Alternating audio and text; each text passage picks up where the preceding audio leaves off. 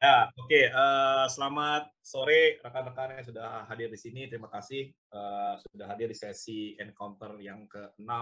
Ke berapa? Kelima? Oh, kelima, sorry. Kelima. Oh, soalnya besok ke-6 ya. Kelima. Hari ini uh, ada dua presenter. Pertama dari Bu Yeni Rahmayati ya, yang pengajar di Prince Sultan University Saudi Arabia. Uh, menarik karena jujur saya aja nggak benar-benar blank gitu tentang pengajaran pendidikan sektor di Saudi Arabia. Jadi saya benar-benar penasaran sih, pengen dengar gitu, pengen tahu di sana bagaimana. Lalu nanti akan dilanjutkan uh, dengan presentasi dari Bung Hatta ya oleh Pak Abu. Uh, cuma saya sedang kasih catatan untuk kali ini uh, karena Bu Yeni kebetulan ada jadwal meeting, jadi nanti setelah presentasi Bu Yeni kita langsung buka tanya jawab Ya, jadi kalau ada yang mau langsung bertanya, berdiskusi, langsung aja ditulis di kolom chatting atau nanti kalau mau nanya langsung juga boleh, ya resen juga boleh. Kita ada waktu mungkin setelah Bu Yeni presentasi 10 sampai 15 menit lah kayak jawab ya untuk uh, Bu Yeni. Buat yang baru hadir, pertama kali hadir, sekedar informasi aja, acara encounter ini adalah uh, acara yang diselenggarakan oleh Nenun Ruang bekerja sama dengan Critical Context gitu ya, sebagai salah satu upaya untuk uh, berdiskusi memperbincangkan pedagogi studio gitu ya di jurusan uh, tentang uh, pengajaran studio desain arsitektur. Jadi uh, semoga ini bisa berlanjut terus uh, dan ya upaya pertama ini sekarang sudah ya tadi sudah sebutnya sudah lima kali dan semoga ini bisa juga bermanfaat bagi kita semua. Oke itu aja pembukaannya. Silakan Bu Yeni. Oke, uh, bisa bisa didengar ya.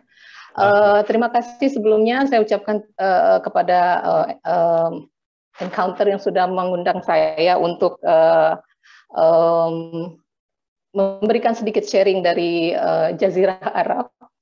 Uh, ini saya uh, akan mempresentasikan studio awal atau uh, studio 1, Design One. Sebelumnya saya akan memberi sedikit overview tentang PSU. PSU itu Prince Sultan University. Kita ada dua kampus, kampus male dan kampus female. Nah, kampus uh, arsitektur itu sendiri berada di kampus female di bawah College of Architecture and Design. Kita ada dua departemen saat ini uh, dan insya Allah ke depan tahun depan itu akan buka satu uh, departemen lagi itu uh, graphic design. Uh, sebelumnya kita uh, under uh, College of Engineering di bawah Mel Campus. Jadi kita baru satu tahun berdiri sebagai independent college. Nah, uh, di female campus ini semuanya female. Murid, student, sampai security, uh, cleaning service semuanya male. Bahkan maintenance yang perbaiki pintu semuanya juga female di sini. Ini yang menarik. Um, ini study plan-nya untuk uh, lima tahun ya, karena mereka harus melakukan satu tahun PYP (Pre uh, Preparatory Year Program). Uh, tapi empat tahun ini sudah termasuk co-op atau magang atau intensif tujuh bulan di uh, company atau organization. Tapi ini program waktu ini study plan waktu ketika kita masih uh, di bawah College of Engineering. Kita sudah punya study plan baru, tapi baru diimplementasikan insya Allah tahun depan. Nah, desain itu sendiri ada di sini, ada lima studio. Uh, saya juga nggak tahu ini studio satu, dua, tiga, kenapa tiba-tiba jadi desain lima. Nggak ada yang bisa menjawab di sini, tapi ini sebenarnya desain empat. Dan kemudian mereka ada senior project. Untuk pendamping, sebelum mereka masuk ke senior project, mereka ada senior project one. Senior project one ini mungkin di Indonesia kayak kolokium kali ya, kayak seminar, di mana mereka mendevelop research untuk tugas akhirnya nanti. Nah, ketika di senior project ini memang pure drawing. Uh, pada saat yang bersamaan di semester terakhir mereka juga harus mengambil urban design studio yang uh, kreditnya sama dan ini agak berat sebenarnya di uh, new study plan kita udah change ini uh, jadi semester terakhir itu student uh, bisa fokus dengan uh, tugas akhir mereka. Uh, yang biru ini prerequisite untuk mengambil desain satu. Jadi sebelum mereka ngambil perancangan satu, mereka harus lulus basic design 2 uh, Human Factors and the Built Environment, Technical Drawing One sama Prehand Drawing. Saya juga megang uh, Prehand Drawing, uh, mata kuliah Prehand Drawing dan uh, 341 uh, Theories of Housing Design untuk mensupport uh, design one ini. Jadi ini sekedar gambaran, kita biasanya itu ada beberapa section uh, dalam satu mata kuliah uh, dalam satu studio itu dengan satu koordinator dan beberapa in instructor. Uh, ini kebetulan silabus yang saya ambil semester kemarin di mana hanya ada two section, dua section saya dan satu uh, uh, instruktur, saya sebagai koordinator. Nah, course description-nya itu sendiri untuk design one ini kita fokus ke residential interiors and exteriors as a synthetic disciplines that considers material, spatial experience, contextual analysis, formal concepts, and socio-cultural relationships. Kita juga mengharapkan student itu bisa mengeksplor material and graphic representations dalam bentuk model, drawings, collage, uh, dan rendering. Uh, untuk domain, kita punya tiga domain. Uh, pertama itu knowledge, skill dan competencies. Di sini saya pilih uh, empat CLO yang uh, harus di-achieve by the end of the course. Yang pertama itu CLO 1, uh, identify architectural elements, especially on the spatial relationship, material services, and constructions for the scale of residential design. Ini map up, map, map ke PLO uh, 2, uh, pro, pro, program learning outcome. Kemudian CLO 2-nya formulate ideas related to given contextual specification, climate, urban regulations, local and cultural requirements, enhancing residential housing and environment. Dan yang CLO 4 itu generate design ideas based on critical factors that establish in logic in synthesizing elements of a project responding to users' need and requirements of residential design. Dan yang terakhir yaitu uh, clarity in ideation and rigorous execution in the production phase in 2D and 3D graphics, actual model making, technical skills, written and oral presentations. Jadi untuk durationnya kita setiap semester itu ada 16 minggu dan kita ada tiga proyek yang harus diselesaikan oleh uh, student. Proyek pertama, proyek kedua itu week-nya ada 20%, nanti saya jelaskan di slide selanjutnya, dan final project 40% out of 100%. Uh, ini jenis-jenis uh, grading grading sistemnya. Jadi kita lihat di sini project 1, project 2 20%, final project 40%, sisanya itu pin up. Jadi tiap pin up mereka juga di grading dan studio works itu juga ada grade-nya. Sisanya itu dari in-class exercise uh, di dalam kelas. Ini akan saya jelaskan uh, berikut uh, in the next slide. Jadi kita ada assumption di sini karena kita mengharapkan student itu untuk melakukan bereksplorasi nggak hanya masalah climate, material, responding to users need, tapi juga mereka harus meng, uh, social konteks ya. Jadi mereka harus mengconsider meng aspek sosial uh, budaya. Dan karena ini universitasnya international universitas university, jadi studentnya itu nggak hanya uh, lokal Saudi di sini, tapi juga dari banyak negara termasuk Eropa, Afrika, Asia, Amerika, bahkan Europe. Jadi kita uh, uh, ada asumsi bahwa cultural background itu akan mempengaruhi uh, uh, uh, desain mereka. Karena itu kita bebaskan mereka untuk memilih case study. Karena pernah kita coba mereka untuk mencari case study sini mereka kesulitan akses. Jadi kita nggak memaksakan. Nah mengenai studio, saya cuma bisa mem, uh, mengambil mengambil contoh studio dalam keadaan polos seperti ini. Nanti saya jelaskan kenapa. Kita studio kita tuh seminggu ada dua kali. Uh, setiap studio itu empat jam, uh, four hours in a row. Uh, maksimum studio itu 15 orang, 15 students per studio dengan satu instruktur. Kadang bisa uh, 10 atau di bawah 10. Uh, kalau kita sudah punya student 15, itu biasanya kita di-assign satu teaching assistant untuk membantu kita. Uh, ini yang tadi saya katakan sebelum kita mulai ke project, biasanya kita mulai dengan empat series of lecture di dua minggu pertama. Uh, pertama itu kita dengan pengenalan introduction dan kita lakukan entry test. Entry test, entry test ini itu untuk men menilai level uh, dari studentnya karena kadang satu angkatan tuh bagus semua, kadang satu angkatan average, kadang satu angkatan itu atau mix. Jadi nanti uh, assignment dan project-project kita desain berdasarkan level. Mungkin kalau memang uh, pada angkatan itu uh, majority-nya itu uh, average uh, ke atas, itu mungkin kita bikin kita naikkan sedikit difficulty level dari projectnya. Begitu juga kalau average, begitu juga kalau skill-nya very low, mungkin kita agak membuat sedikit less difficult untuk project-projectnya. Kita juga mengharuskan beberapa textbook sebagai referensi student dan juga beberapa referensi tambahan. Nah, di exercise pertama ini itu lebih kita fokuskan ke uh, analisis ya, arsitektur analisis needs, form, and context. Kita mulai dengan needs, biasanya itu kita berikan satu contoh video. Semester lalu itu saya beri contoh video, case study-nya itu shotgun house dan uh, kita minta student untuk menganalisa, meng, me, melakukan proses abstraction dari uh, rumah itu, dari case study. Dan kita mereka, minta mereka untuk mengcreate naratif, supaya mereka juga nanti terbiasa ketika punya project mereka bisa uh, mendevelop satu naratif yang menarik untuk proyek mereka. Uh, outputnya kita harapkan mereka tuh uh, melatih manual skill mereka 2D dan 3D uh, karena uh, uh, menurut uh, kita bagaimanapun digital Halo, ya, digital uh, teknologi sekarang, tapi kita tetap mengharapkan student itu punya kemampuan manual yang yang cukup capable. Uh, di sini CLO yang kita nilai hanya CLO satu, yaitu kemampuan mereka mengcreate naratif dan juga bagaimana mereka menganalisa needs and function. Ini uh, salah uh, beberapa contoh dari outcome-nya memang kelihatan masih sangat weak, mereka masih meraba-raba, mereka belum tahu, uh, belum confidence, tapi memang kita tidak expected uh, uh, terlalu banyak di uh, assignment pertama ini. Assignment kedua itu setelah lecture, setelah kita berikan one hour two hours lectures kita mereka untuk eh, kita minta mereka untuk melakukan assignment kedua eh, sama kita beri satu video dan mereka harus mengkreat naratif kali ini mereka harus melakukan proses abstraction untuk konteks dan form. Lagi-lagi keluarannya harus berupa manual uh, diagram atau sketches atau semacam itu. Uh, SEO-nya kita tambah satu di mana uh, uh, uh, mereka harus mampu menganalisa site uh, complete uh, contextual specification, including climate, termasuk sunpath dan sebagainya. Uh, di sini beberapa outcome, saya tampilkan beberapa outcome, kelihatan mereka sudah mulai improve, baik kemampuan analisa maupun kemampuan uh, apa, uh, drawing skills, manual skills-nya. Uh, di lecture uh, terakhir itu design proses, uh, kita beri lagi case study, tapi kali ini kita mere minta mereka untuk uh, mengambil bangunan salah satu bangunan di kampus untuk kira-kira uh, menggali kira-kira apa ide dan konsep bangunan tersebut. Uh, CLO-nya juga kita tambah untuk uh, menilai uh, desain konsep yang mereka hasilkan.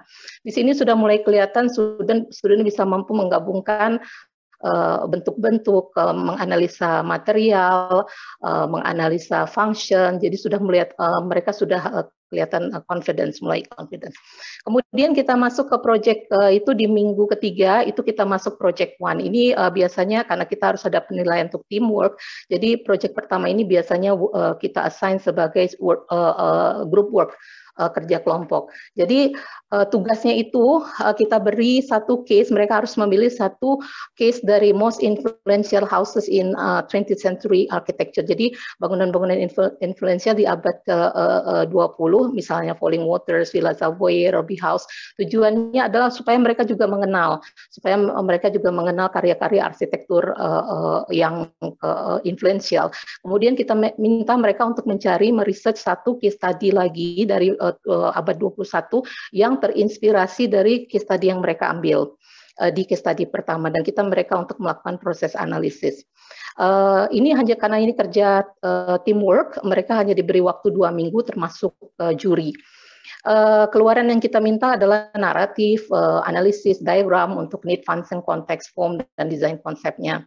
Uh, dan juga kita mereka, uh, minta mereka untuk uh, um, uh, membuat model.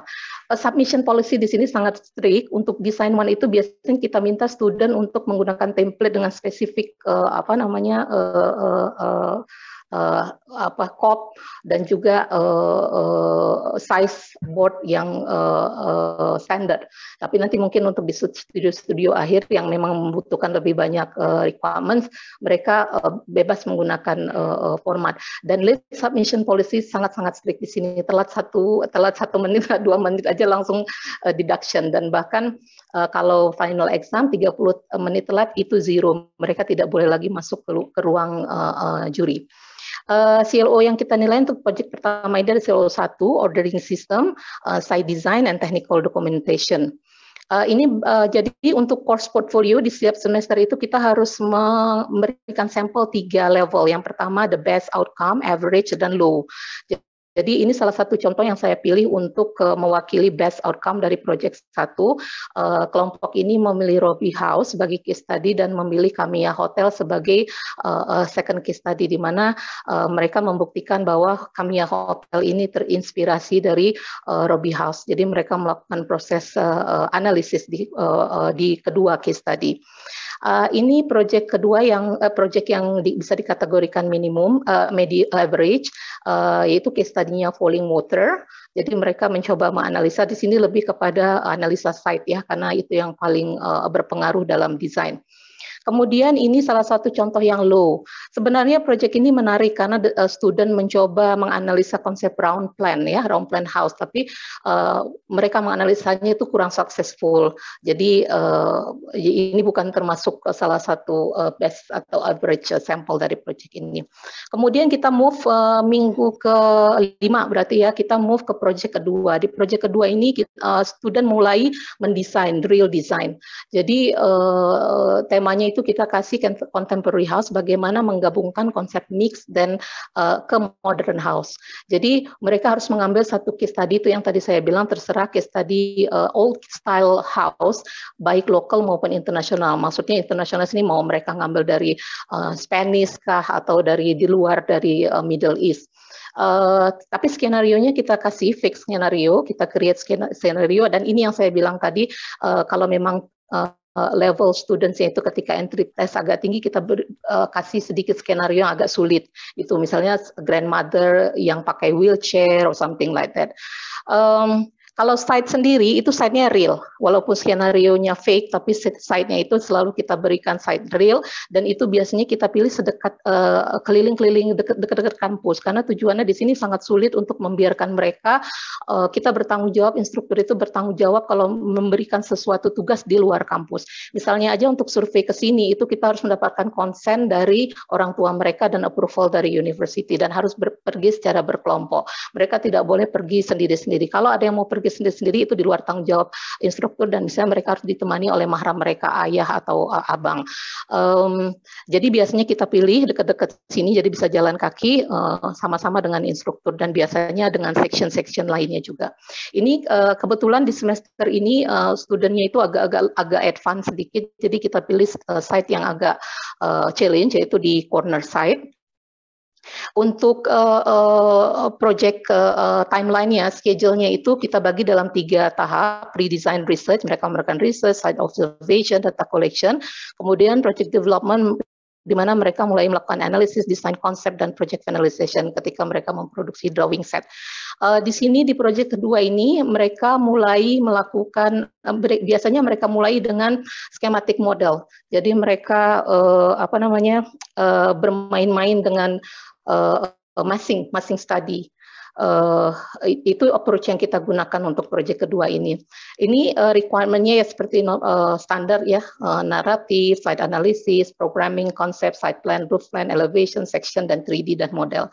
Uh, submission policy sama seperti uh, uh, project satu dan juga nanti sama dengan project final.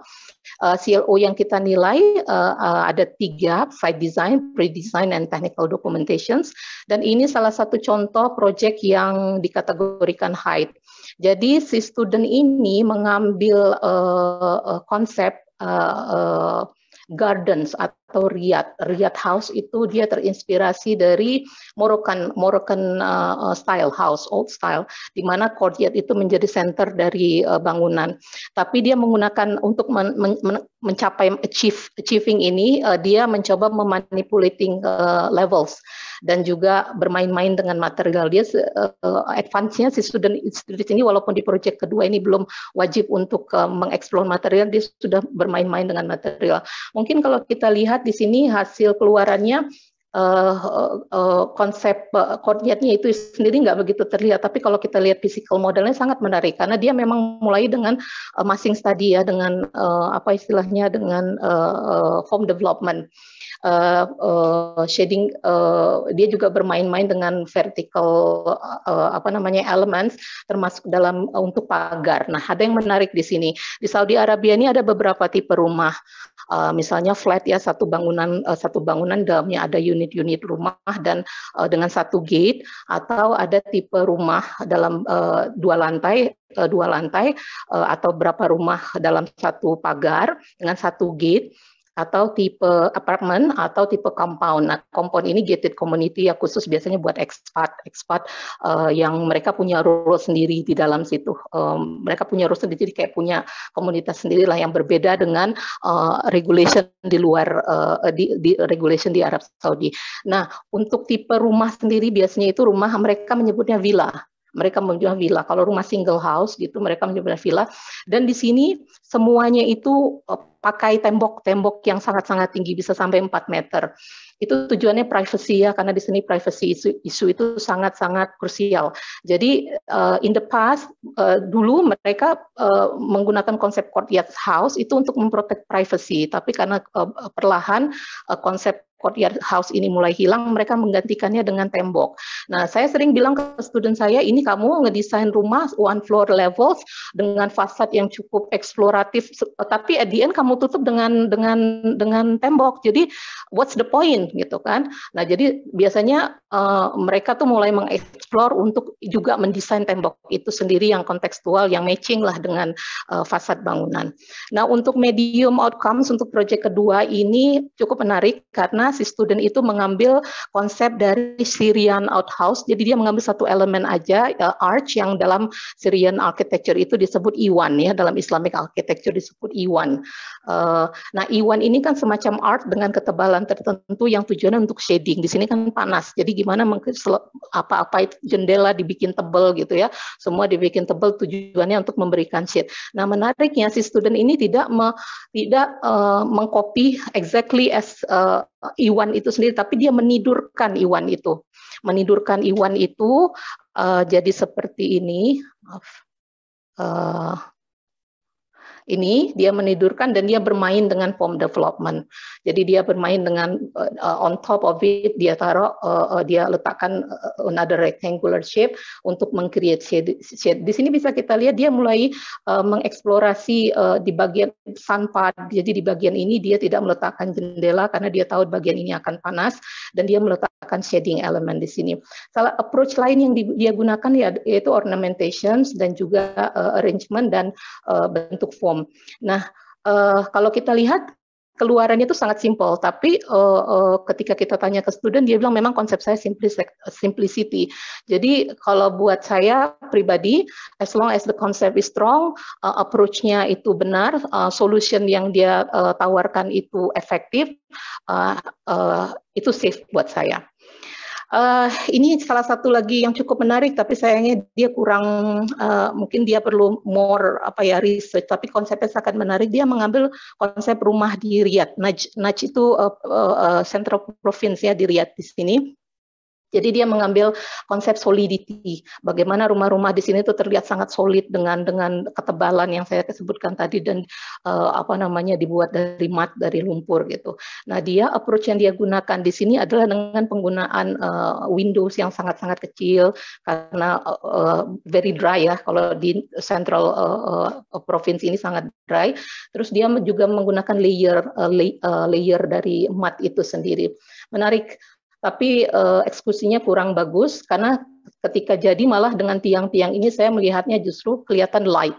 Jadi konsep solidity itu tidak begitu successful kalau menurut saya, tapi cara dia mengambil konsep itu menurut saya itu brilian gitu. Uh, ini salah satu contoh seperti saya bilang kita juga harus memasukkan satu contoh yang uh, low low outcome. Saya nggak tahu gimana ceritanya tiba-tiba dia come up with the um, apa namanya daun konsep daun. Apa dia waktu itu nggak asistensi atau gimana saya kurang ingat tapi kayaknya ini student suddenly dekat-dekat uh, submission kayak gitu dia ganti ide tanpa uh, miss the pin up gitu. Jadi kita nggak bisa ngejek ya dia. Jadi tentu aja juga uh, apa namanya solusi yang dia tawarkan juga sangat ekstrim yang rasanya impossible ya. Jadi dia tidak mempertimbangkan struktur gitu. Jadi dan uh, ini menurut saya sangat-sangat tidak successful. Nah, final project ini kita mulai membi uh, membiarkan student untuk ber bereksplorasi lebih ke modern ya. Jadi project yang kita angkat itu uh, inside out. Jadi kita namakan project title-nya itu inside out di mana tujuannya adalah ya, goal yang mau di-achieve adalah ketika user berada di dalam rumah, mereka merasa seperti di luar uh, di halaman misalnya dan ketika mereka berada di halaman mereka merasa seperti di dalam rumah. Nah, uh, uh, challenge-nya di sini memang kelihatan proyeknya sangat simpel ya dan rasanya uh, uh, terlalu terlalu easy untuk uh, final project yang uh, bebannya 40%. Tapi di sini challenge-nya untuk Arab Saudi ini sangat challenge karena di sini kan privacy issue, penggunaan jendela, uh, kaca, jendela besar-besar itu rasanya sangat impossible ya.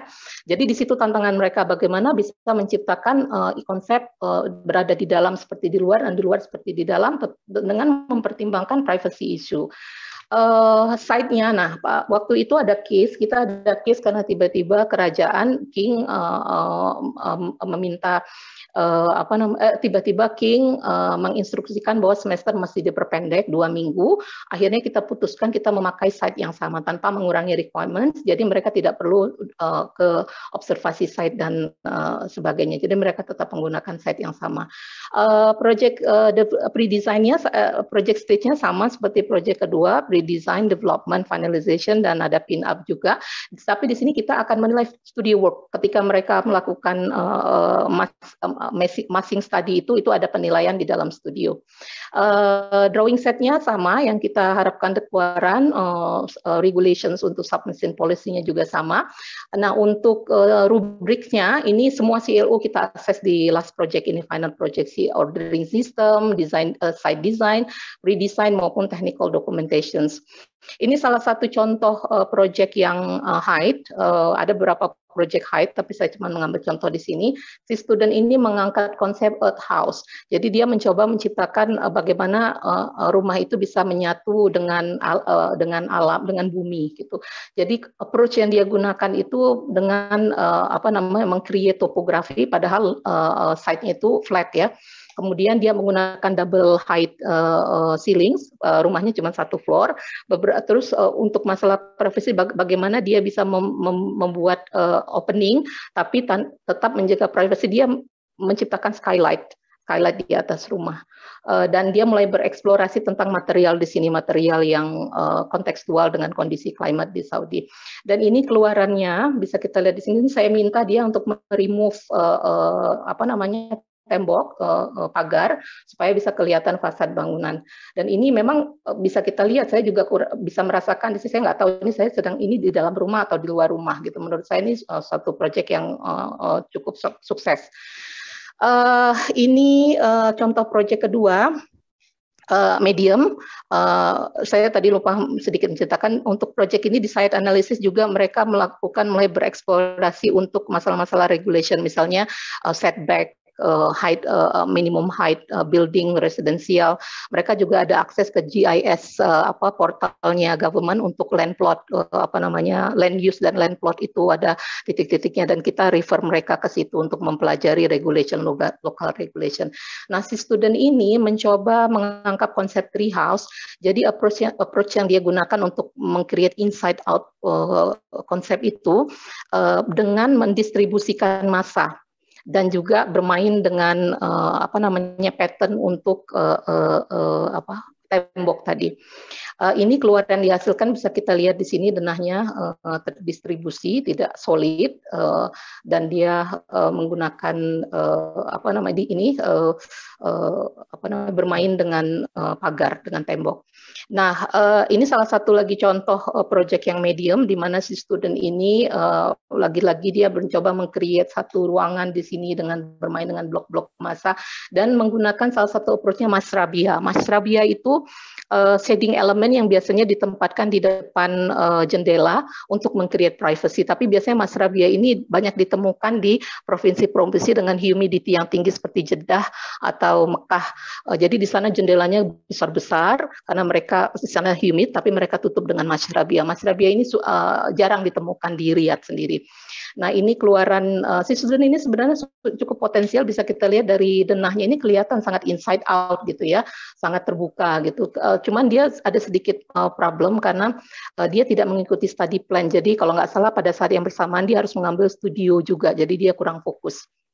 Nah ini salah satu contoh yang low bisa kita lihat di sini nggak jelas gitu ya dia mau ngambil apa gitu dan outcome-nya juga sangat ekstrim.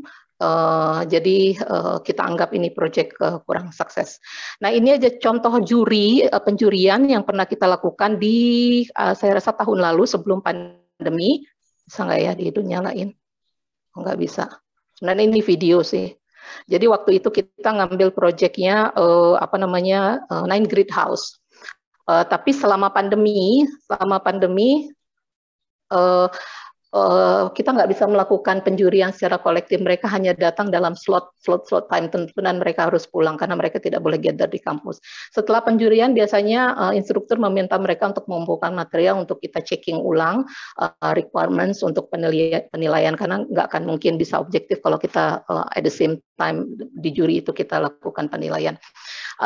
Untuk model uh, untuk model sendiri kita punya fab lab, uh, fabrication lab di mana ada 3D printer, laser cut uh, segala bentuk tools dan material. Tapi sayangnya selama pandemi ini harus tutup dan student kembali harus menggunakan manual uh, apa namanya model making. Uh, ini contoh uh, model yang dibikin di studio lab uh, sebelum pandemi. Uh, dan beberapa uh, tugas yang terpilih uh, uh, best best uh, uh, project itu biasanya kita display di accreditation room kita. Uh, di sini ada sedikit catatan, ini slide saya yang terakhir, uh, bahwa untuk mata kuliah ini technical presentation itu sebenarnya digital tidak mandatory, tapi kita encourage student untuk mempresentasikan final project mereka menggunakan digital presentation. Karena pada saat yang bersamaan di semester yang sama mereka juga mengambil mata kuliah digital representation. Tapi biasanya student itu sudah mulai confident, bahkan di project pertama seperti kita lihat tadi mereka mulai menggabungkan manual skill dengan digital, apalagi di project kedua mereka juga juga mulai confidence dan project terakhir. Walaupun kita selalu bilang ini nggak mandatori, nggak mandatori, tapi biasanya mereka challenge themselves gitu ya untuk uh, mempresentasikannya secara uh, um, uh, man, uh, uh, digital maksudnya. Nah, privacy issue ini yang saya mau sampaikan. Sebenarnya saya pengen menunjukkan bagaimana proses studio berlangsung ketika mereka bekerja ya, uh, masing study, mereka form development, gambar semua uh, apa namanya juri session, bagaimana proses penjurian berlangsung, model making mau baik di dalam studio maupun maupun di Fab Lab. Tapi karena privacy issue di dalam kampus ini ketika mereka le lewat gate security mereka biasanya langsung uh, melepaskan abaya dan melepaskan penutup kepala. Jadi di dalam kampus ini ya mereka nge-jeans, pakai t-shirt pakai dress gitu ya. Jadi hmm. iya, jadi kita nggak boleh, jadi kita nggak bisa ngambil uh, video, ngambil foto sembarangan gini nggak bisa, itu langsung kena, itu melanggar code of conduct, the conduct di sini. Jadi sangat sulit. Padahal saya pengen banget, saya punya, saya punya, saya tetap merekod itu, tetap record kegiatan di studio bagaimana menarik karena studennya kan semua perempuan, perempuan tahu gimana kalau ngadepin uh, apa namanya student perempuan, apalagi kalau 15 student tuh rame rame kayak gitu. Jadi karena di sini memang mereka seperti komunitas sendiri begitu mereka keluar dari gate mereka langsung uh, dengan lengkap dengan pakaiannya. Nah di sini tidak kerasa gitu kalau sebenarnya kalau sedang mengajar di Arab kalau di dalam kampus sendiri ya. Uh, menarik eh, apa namanya uniknya di situ. Nah proses juri uh, juri one dan juri itu nilai diberikan oleh instruktur sendiri. Uh, kita boleh mengundang external jurors, tapi mereka tidak boleh memberikan nilai, hanya boleh memberi memberikan feedback sementara untuk final juri murni dari external juror tidak boleh dinilai sedikit pun oleh uh, ya, uh, instructor. Mengenai teaching modality selama pandemi kita mix 50% online, 50% offline kan kita ada dua kali studio, satu studio itu online, satu studio on campus. Tapi sekarang mulai semester ini kita 100% on campus. Uh, project mengenai project tiap semester itu biasanya kita ganti atau kita modify. Dan setelah tiga semester berturut-turut itu silabus biasanya totally atau uh, significantly kita revise, kita modified untuk uh, bukan hanya untuk mendevelop, challenge instruktur gitu untuk lebih berkreatif atau juga untuk uh, uh, studinya sendiri, tapi juga untuk meng, meng apa menghindari plagiarism copy paste uh, student dari senior senior sebelumnya. Karena setiap setahun kita punya exhibition uh, takutnya student itu dapat inspirasi dari uh, apa namanya bisa copy paste dari ide-ide dari seniornya. Uh, demikian dari saya. Terima kasih. Jika ada pertanyaan, welcome. Silahkan. Ya, terima kasih banyak Bu Yeni. Sekarang mungkin pertanyaan pertamanya Bu Yeni punya berapa menit lagi nih? uh, boleh Pak, 10 menit Pak. Nanti saya lari ke mail section. Mailnya Oke, okay. kalau gitu saya langsung bacakan pertanyaan. Ini ada dua pertanyaan, tapi mungkin saya bacanya nggak langsung urutan ya, biar ya. sampai nunggu yang lain. Oh, mungkin sebelum sebelum masuk ke pertanyaan ini, saya punya satu pertanyaan dulu yang rasanya uh, bisa jadi sedikit summary yang menarik dari prestasi Ibu Yeni. Saya pikir salah satu yang menarik itu justru uh, soal-soalnya sangat kontekstual ya. Maksudnya kalau kita kalau paling enggak kalau sepengetahuan saya kalau kita bicara brief-brief di sekolah sektor kan konteksnya itu bisa sangat luas ya. Mau bisa ada di luar kota bahkan di luar negeri segala macam. Ini kan kalau saya dengar semuanya tuh menyikapi kondisi yang ada di Saudi Arabia ya kan? Dari dari posisi jendela luasan konsep privacy gitu ya. Itu memang apakah memang kebijakan di pres, uh, di sekolahnya Bu Yani aja atau sebenarnya di seluruh Saudi Arabia seperti itu? Uh, gini Pak, mungkin ini makanya kita lebih fokus ke lokal konteks karena kan sejak tahun 2018 itu kan uh, apa namanya uh, Crown Prince yang sekarang itu Muhammad bin Salman uh, dia kan melaunch satu uh, apa ya vision baru lah Saudi Vision 2000 uh, Saudi Vision 2030 idenya itu untuk um, apa namanya melepaskan diri dari dependensi terhadap oil dan gas eh, oil. Uh, jadi kita di situ banyak programnya programnya increase tourism heritage semua. Jadi kita segala, sekarang semua program baik research teaching kita itu semuanya untuk mensupport visi, visi itu.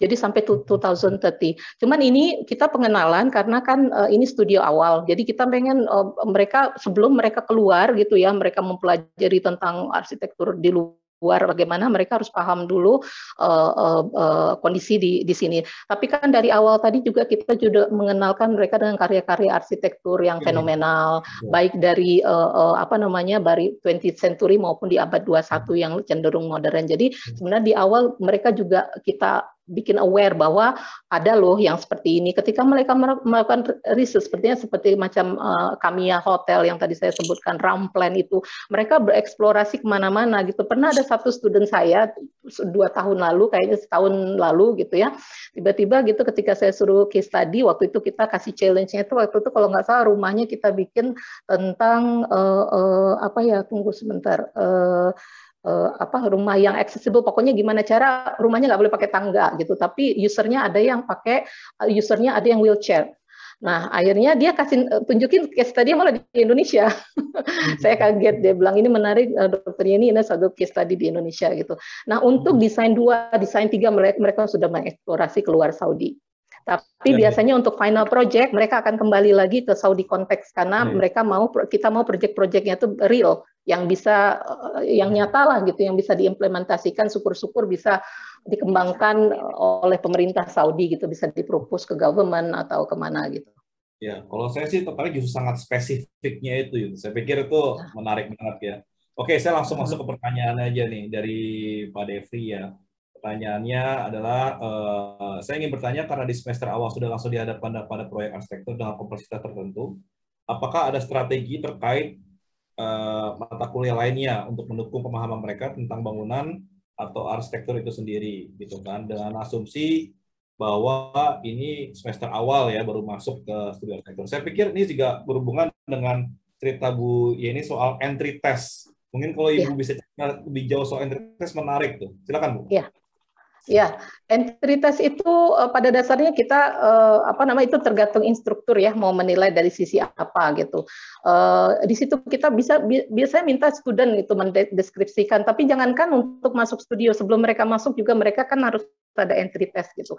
Kemampuan mereka menggambar, menuangkan ide, uh, apa namanya membuat narasi gitu ya. Itu juga kita nilai di entry test. Nah, untuk uh, support uh, seperti saya balik ke study plan ini ya. Nah, ini study plan ini kan dia di semester ketiga, tapi sebelumnya kan mereka juga udah ngambil PYP ya. Jadi ketika mereka udah masuk semester pertama di di uh, apa namanya di di uh, arsitektur program mereka nggak nggak nggak perlu direpotin dengan apa namanya mata kuliah mata kuliah uh, uh, general.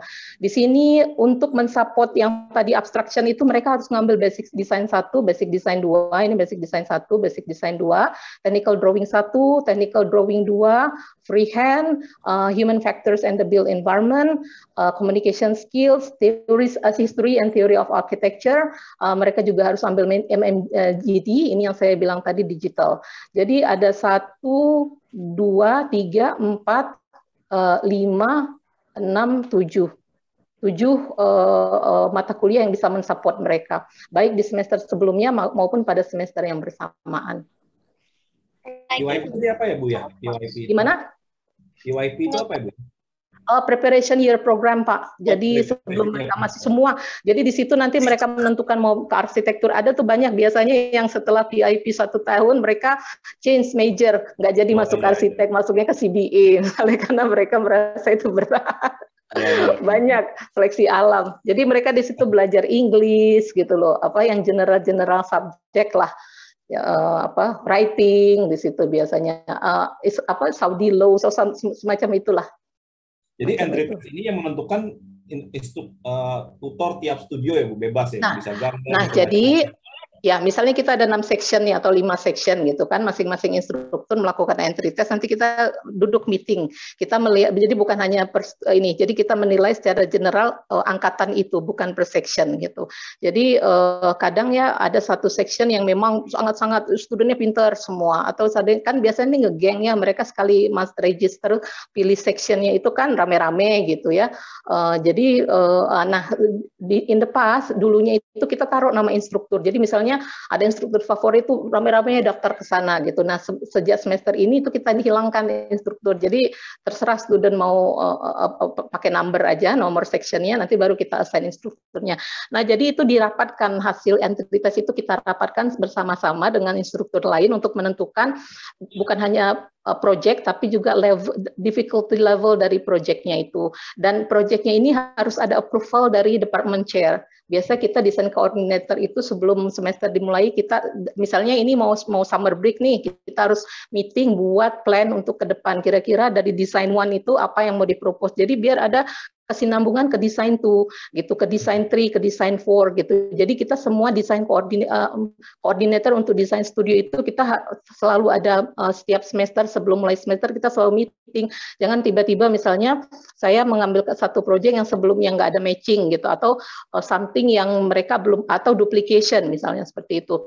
Nah saya sendiri uh, sering menolak untuk mengajar di studio-studio yang uh, lebih tinggi ya. Karena uh, saya lebih suka uh, saya pengen yang student ini benar-benar benar-benar uh, apa namanya paham paham gitu. Oh, bagaimana mengkonsep sesuatu bagaimana approach macam itu. Jadi karena tapi saya yang sering sering jadi apa namanya ya misalnya gini kalau ada student yang kurang bagus di semester awal ini siapa nih dulu memangnya enggak. Jadi sebenarnya justru yang paling sulit itu desain satu, desain dua gitu loh. Uh, um, apa namanya? Yang disalahkan bukan dosen technical drawings misalnya gitu. Jadi kenapa sih konsepnya ke mana, larinya ke mana, approach-nya nggak jelas gitu. Makanya saya di desain one ini benar-benar gitu. Uh, saya bilang kalau kamu nggak lewat ini, ini akan sulit bagi kamu untuk uh, desain-desain selanjutnya. Ya. Itu Pak. Oke, mungkin ini pertanyaan terakhir Bu, uh, sebagai penutup juga nih dari Pak Rahmat Irawan. Tanya nih, apakah mahasiswa-mahasiswa Indonesia bisa masuk ke Prince Sultan University? Gitu. Kalau gimana, bisa, gimana Pak? Maaf. Gimana Pak? Apakah mahasiswa-mahasiswa Indonesia bisa ah. masuk juga ke Prince Sultan University? Kalau bisa, bisa prosedurnya ah. gimana? Mungkin Ibu bisa tambahkan sedikit begini. Saya ini sekedar kasih konteks ya. Apakah di Riyadh ada berapa sekolah, sekolah arsitektur, terusnya Prince Sultan University ini apakah private atau government gitu? Oke. Okay. Uh, ini uh, universitasnya uh, private ya, private uh, university. Kalau uh, satu-satunya uh, uh, yang menawarkan uh, program arsitektur untuk uh, uh, female. Okay. yang menggunakan Inggris. Ada satu program lain di uh, Prince Nura University, tapi mereka uh, delivery language-nya in Arabic. Nah, ini international student siapa aja boleh uh, masuk ke sini. Uh, apa namanya ya uh, uh, requirements-nya bisa dicek uh, di di websitenya. Cuman uh, apa ya tadi saya mau bilang ya, uh, uh, memang uh, uh, apa tadi ya? Jadi ada pre, oh ini saya mau bilang ini demandnya cukup tinggi. Jadi di antara di female kampus sendiri kita selalu admission rate-nya itu selalu paling tinggi karena kan mereka mulai terbuka nih Arab Saudi. Jadi male dominated eh, field itu kayak construction, architecture. Sekarang uh, female boleh boleh nyetir di sini ya. Jadi ada semacam pride dari mereka dan ini demandnya sangat tinggi. Mereka pengen mendominasi uh, uh, apa namanya bidang-bidang uh, yang selama ini mereka tidak tidak tidak boleh uh, masuk gitu dan ini suatu break breakthrough ya. Dan uh, apa namanya mereka juga merasa challenge dan euforia lah semacam euforia. Uh, dan mereka uh, sangat keen di bidang ini. Dan mereka juga mengatakan ke saya uh, apa namanya uh, ladang uh, chance untuk mereka menempuh karir tinggi. Saya juga tiap semester megang mahasiswa koop uh, dan mereka tuh sangat-sangat excited gitu loh bisa bekerja misalnya turun ke site visit gitu ya uh, ke lapangan kayak itu ada semacam pride ya yang mungkin mereka selama ini agak-agak ter uh, apa namanya agak ter, ter, tertutup tiba-tiba dibebaskan seperti ini gitu menarik sih menarik di sini. Ya, boleh tahu satu angkatan berapa orang bu? Satu angkatan itu uh, uh, kita total itu sekitar 400-500 student. Satu angkatan mungkin sekitar kalau katakanlah satu section itu 6, 6 sampai 8 section paling banyak. Kalau 15 student mungkin 80 ya. 80 oh. atau 90 atau 60 lah. Jadi biasanya yang tahun semester 1 itu tinggi, nanti semester ininya uh, biasanya sectionnya kecil gitu. Uh, ya sekitar sekitar mungkin satu angkatan sekitar 60-an, paling 5 section, 6 section. Oh, 60-an. Nah, kalau yang lulusnya biasanya sekitar 60, turunnya berapa, Bu, yang lulusnya? Yang lulus uh, hampir uh, mungkin sekitar 80 ya, 80 persen. Banyak juga sih yang nggak ngikut study plan, uh, karena oh. mereka ada juga yang uh, apa namanya, yang memang kuliah juga uh, yang penting bukan yang penting selesai gitu ya. Mereka memang mau kadang memang mau enggak enggak saya nggak mau ngambil dulu supaya saya bisa fokus di sini, cuma oh, mengambil. Iya. Ada yang nggak ngikut study plan, ada yang nggak ngikut study plan. Oke, ya terima kasih okay. uh, Bu Yeni. Terima Mungkin kasih. tadi ya untuk yang mau masuk Prince Saudi Arabia, eh Prince Sultan University bisa cek website aja langsung ya Bu ya. Iya boleh, boleh ke email saya juga. Maaf nih Pak, saya harus leave. Gak apa-apa. Uh, iya iya. Uh, terima kasih banyak. Iya iya sama-sama. Terima kasih Bu. Iya iya sama-sama. Ya. Oke, uh, kita langsung lanjut aja ke presentasi kedua ya ke Pak Abu. Pak Abu. Oke, Pak David. Ini silakan Pak Abu, kita mulai aja biar kita langsung bisa diskusi lebih panjang di belakang.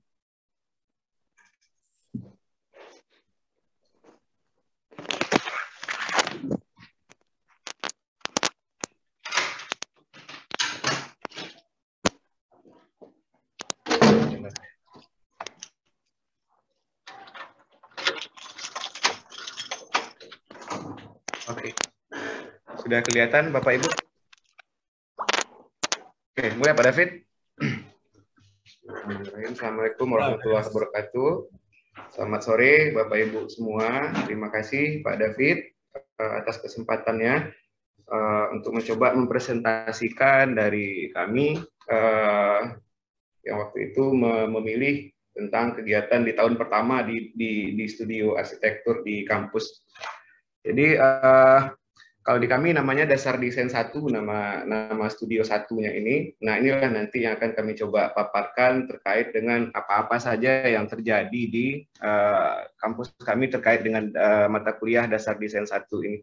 Sebelum masuk, uh, izinkan kami dulu untuk bercerita tentang uh, hamparan besar dari struktur kurikulum yang ada di prodi arsitektur.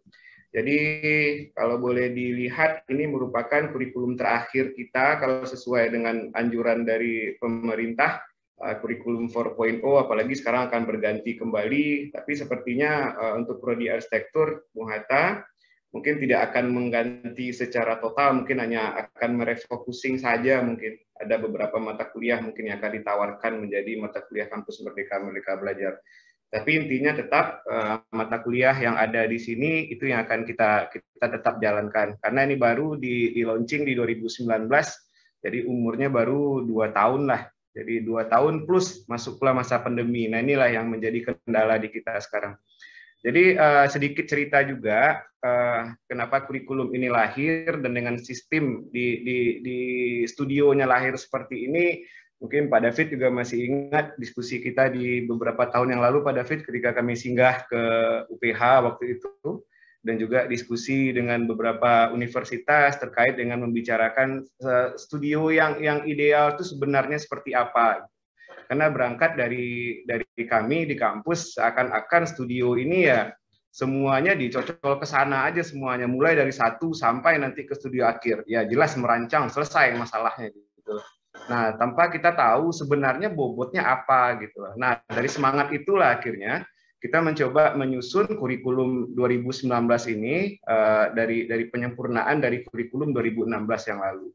Nah, Bapak Ibu, kalau kita lihat dari sistem uh, dari hamparan kurikulum ini ada yang garis kuning itu ada dasar desain satu, dasar desain dua, perancangan satu, perancangan dua, tiga, tematik, seminar dan studi akhir arsitektur. Itu kalau dikatakan di, di prodi arsitektur di Bung Hatta itu adalah backbone-nya. Jadi kita sepakat waktu itu untuk mengatakan bahwa backbone dari dari arsitektur itu adalah studionya. Jadi ketika studio ini betul-betul kita desain dengan baik, betul-betul kita rencanakan dengan baik, rasanya untuk mencapai studio akhir bagi mahasiswa kita sudah sudah bukan lagi sesuatu hal yang sangat susah karena kita sudah mencicil semuanya. Nah, kalau boleh dilihat Bapak Ibu, eh, yang akan kita bahas hari ini adalah yang di dasar desain satu, yang di lingkaran merah yang paling kiri, di mana di semester satu itu ada beberapa mata kuliah lain yang juga sudah kita susun, kita setting di sana dengan tujuan bahwa mata kuliah itu nanti akan menjadi membantu atau menjadi support dari mata kuliah dasar desain satu ini. Jadi kalau dilihat, nah ini sedikit saja Bapak Ibu terkait dengan studio. Jadi studio merupakan inti dari proses pembelajaran di program studi arsitektur Universitas Bung Hatta yang dalam prosesnya mahasiswa dilatih untuk memiliki keterampilan merancang ruang-ruang arsitektonik berdasarkan kajian tapak dan fungsinya. Mahasiswa juga dilatih agar memiliki kesadaran dan pemahaman dampak rancangannya terhadap lingkungan sekitarnya, baik fisik maupun sosial. Dan mahasiswa juga dilatih untuk menyajikan rancangannya baik secara grafis dan verbal. Nah, sebelum masuk ke, ke cerita di, di basic di, di perancangan dasar desain satu, Bapak Ibu, uh, berdasarkan uh, hasil dari pembelajaran kami, akhirnya kita memutuskan bahwa di Bung Hatta terdapat tiga patahan di, di studio arsitektur ini, di mana kami mengatakan ada namanya yang basic design, ada yang architectural design, ada yang architectural project. Jadi kalau kita lihat di pembagian semester, Bapak Ibu, basic design itu berada di semester 1 dan semester 2, architectural design di semester 3, 4, 5, dan project ada di semester 6, 7, 8. Ini sesuai dengan uh, standar uh, kurikulum yang 4 tahun mahasiswa harus menamatkan perkuliahannya di kampus. Nah, sedangkan pembagiannya, uh, penekanannya di mana di, di basic design, penekanannya adalah eksplorasi potensi, skill, dan membangun pengetahuan-pengetahuan dasar arsitektur melalui proses observasi, analisis, menggambar, membuat market, dan mampu mengkomunikasikannya. Jadi kalau boleh dilihat Bapak Ibu, di basic satu ini, di basic design ini, di dasar desain satu dan dasar desain dua, kita merencanakan sebenarnya adalah ini kuliahnya fun, gitu. fun, play, eh, bahagia, senang, bagaimana kita menerima mahasiswa-mahasiswa baru yang baru datang dari kampungnya, yang yang baru naik level ke level mahasiswa, nah itu intinya kita memberikan pemahaman sederhana. Jadi makanya kita memberikan penekanan bahwa semua yang akan kita kerjakan di, di dasar desain satu dan dua ini semuanya adalah bentuk dan konstruksi sederhana. Jadi pernaungan itu saja yang kita kasih cuman. Nah itulah nanti yang akan kita arahkan mahasiswa kita bagaimana dia akan mencoba membangun pernaungan pernaungan itu. Sedangkan di masuk ke desain, di architectural design mungkin penekanannya sudah mulai pada bentuk, konstruksi, fungsi dan juga sudah masuk intinya konteks di sana. Nah, dan terakhir di 678 di mana di 6 itu ada project project arsitektur itu yang sudah mulai real projectnya yang biasanya kita minta dan di semester 7 ada seminar arsitektur dan di semester 8 anak-anak akan mengambil SAA studi akhir arsitektur. Nah, sedikit uh, sedikit yang agak bergeser dahulunya adalah ketika di studio akhir arsitektur biasanya itu digabung dengan seminar arsitektur. Biasanya kalau di kita menyebutnya dengan istilah skripsi, Nah, kalau dulu skripsi itu tiga bulan, dan tiga bulan lagi dia adalah eh, eksplorasi desain. Nah, ketika kita mengevaluasi waktu itu bahwa ternyata skripsinya juga tidak maksimal, eksplorasi desain juga tidak maksimal, mengapa tidak kita tarik betul dia ke belakang? Gitu. Jadi kita sediakan betul seminar arsitektur uh, satu semester untuk mereka. Gitu. Jadi ini betul-betul uh, salah satu ketika sampai di studi akhir, mereka murni nanti akan mengeksplorasi desain saja lagi di sana.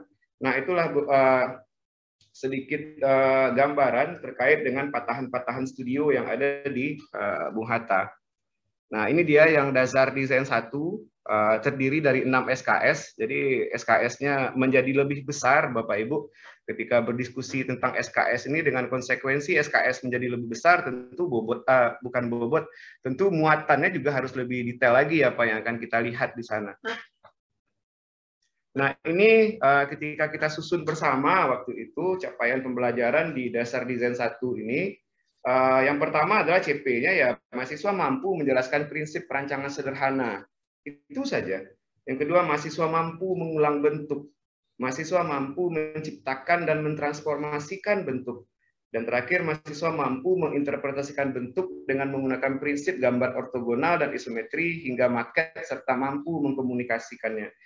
Jadi ketika kita menyusun ini ya kita menggambarkan bahwa mahasiswa tahun satu eh, semester satu tahun satu itu ya bagaimana mereka betul-betul pure eh, dengan dengan ceria, dengan senang mencoba melihat eh, apa yang bisa dipelajari di sini tanpa jadi intinya kita tidak membawa arsitektur itu kepada mereka dulu gitu. Jadi kita mencoba mengenalkan arsitektur itu dengan cara yang lebih sederhana. Nah, terkait dengan capaian pembelajaran, beberapa materi pembelajaran yang kita coba susun, ada line and lettering, ada teknik penggambaran, ada antropometri. Jadi kalau kalau kita lihat Bapak Ibu itu memang kita sengajakan uh, memberikan warna kuning dan di bawahnya ada painting and composition, cut bed and fold, origami paper structure, music of architecture, puisi dalam arsitektur, non square metric itu kita sengajakan kita lingkupkan. Nah, ini artinya adalah yang di dalam kotak merah itu betul-betul nanti itu yang akan mereka kerjakan per per uh, secara lebih detail nanti. Sedangkan yang kuning di atas itu adalah supportnya nanti. Jadi poin-poin di atas itulah yang harus dikuasainya. Ketika mereka sudah paham dengan itu, mereka sudah siap untuk masuk ke dalam uh, lingkaran uh, peta yang lebih yang warna merah ini. Nah, kalau dilihat Bapak Ibu dari potongan semester 1 itu di mana dasar desain, di mana di sana ada mata kuliah Pancasila, estetika 1, tektonik, pengantar arsitektur dan tinjauan bahan bangunan. Jadi kita mengatakan bahwa di semester 1 itu ketika backbone-nya ada dasar desain 1 itu, maka eh, mata kuliah-mata kuliah lain itu sudah seharusnya, sudah seidealnya mereka akan mensupport nanti di dasar desain. Karena ini evaluasi kita juga di kurikulum yang lalu, ketika semua ditumpahkan ke, ke studio, dengan waktu pertemuan yang hanya satu semester itu kita, kita sangat kelabakan rasanya. Kita sangat terkejar-kejar sekali dan ada beberapa hal yang miss. Akhirnya ya kita coba memilah betul ketika dasar desain yang menjadi backbone-nya, maka mata kuliah-mata kuliah lain itu ya harus mensupportnya. Nah, itulah nanti yang akan di-recall oleh anak-anak ketika dia bekerja di dasar desain. Kalau boleh dilihat Bapak Ibu, kalau kita pecah sedikit dari mata kuliah estetika 1, dari mata kuliah tektonik, dari pengantar arsitektur dan tinjauan bahan bangunan, di mana di estetika berbicara tentang nirmana titik, mereka di semester 1, nirmana garis, nirmana bidang, komposisi bidang, warna, ya mereka tetap play juga di sana, tapi setidaknya itulah nanti yang akan pada saatnya nanti di dasar desain itu akan di-recall kembali dan itu akan di-use di sana. Mereka akan menggunakan itu. Sama dengan di tektonik, mereka berbicara tentang tumpukan, mereka berbicara tentang tiang dan balok, ada atap, ada paper folding, dan mereka membuat mockup. Jadi uh, ketika di, di kampus di kampus dulu sebelum sebelum pandemi ini kita tutup betul, nah tugas-tugas ini biasanya ber, ber, ber, banyak sekali bisa kita jumpai Bapak Ibu. Jadi ma mahasiswa ini memang betul-betul merasakan bahwa kalau seperti ini bisa dibangun atau tidak, seperti ini bisa, nah ini kuat dan lain sebagainya. Sedangkan di untuk pengantar arsitektur ya kita memberikan penjelasan sebenarnya tentang esensi arsitektur itu apa, perjalanan panjang dalam desain, hanya pengenalan kepada mereka, pengaruh ilmu dan teknologi dalam arsitektur, histori dan teori, dan juga di bahan bangunan, mereka berbicara tentang jenis, mereka berbicara tentang aplikasi dan pengetahuan tentang sistem konstruksi. Jadi inilah sebenarnya mimpi di, di, di semester 1, bagaimana dasar desain itu betul-betul menjadi mata kuliah yang akan disupport oleh beberapa mata kuliah lain di sekelilingnya di dalam satu semester itu. Berikutnya selain dari mata kuliah mata kuliah yang ada di semester itu, Bapak Ibu, kalau dilihat ketika yang kuning itu adalah backbone-nya studio, kita juga mencoba menyandingkannya dengan struktur. Jadi kalau struktur itu dimulai di, di, di tektonik, di keterbangunan di, di semester 1, juga ada struktur bangunan tingkat rendah, di semester 3 ada struktur bangunan tingkat menengah, dan di semester 4 ada teknologi bangunan namanya, di mana di sini mahasiswa sudah mulai berbicara tentang bentang lebar, berbicara dengan sistem konstruksi yang sudah lebih maju dan modern.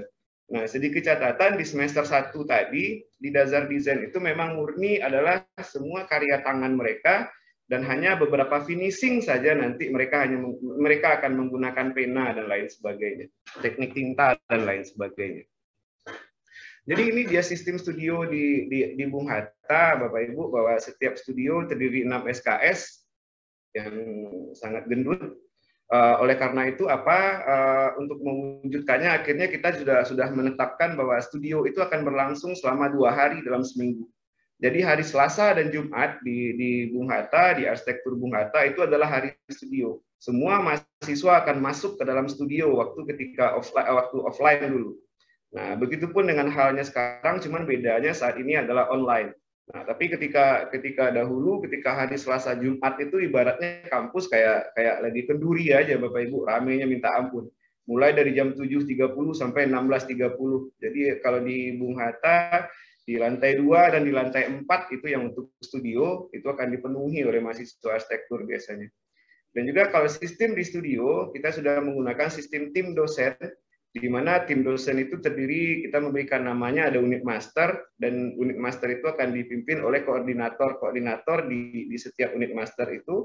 Nah, di tiap level yang berbeda juga akan ada koordinator-koordinator uh, unit master yang lain dan juga akan dikomandoi nanti oleh kepala labor perancangan.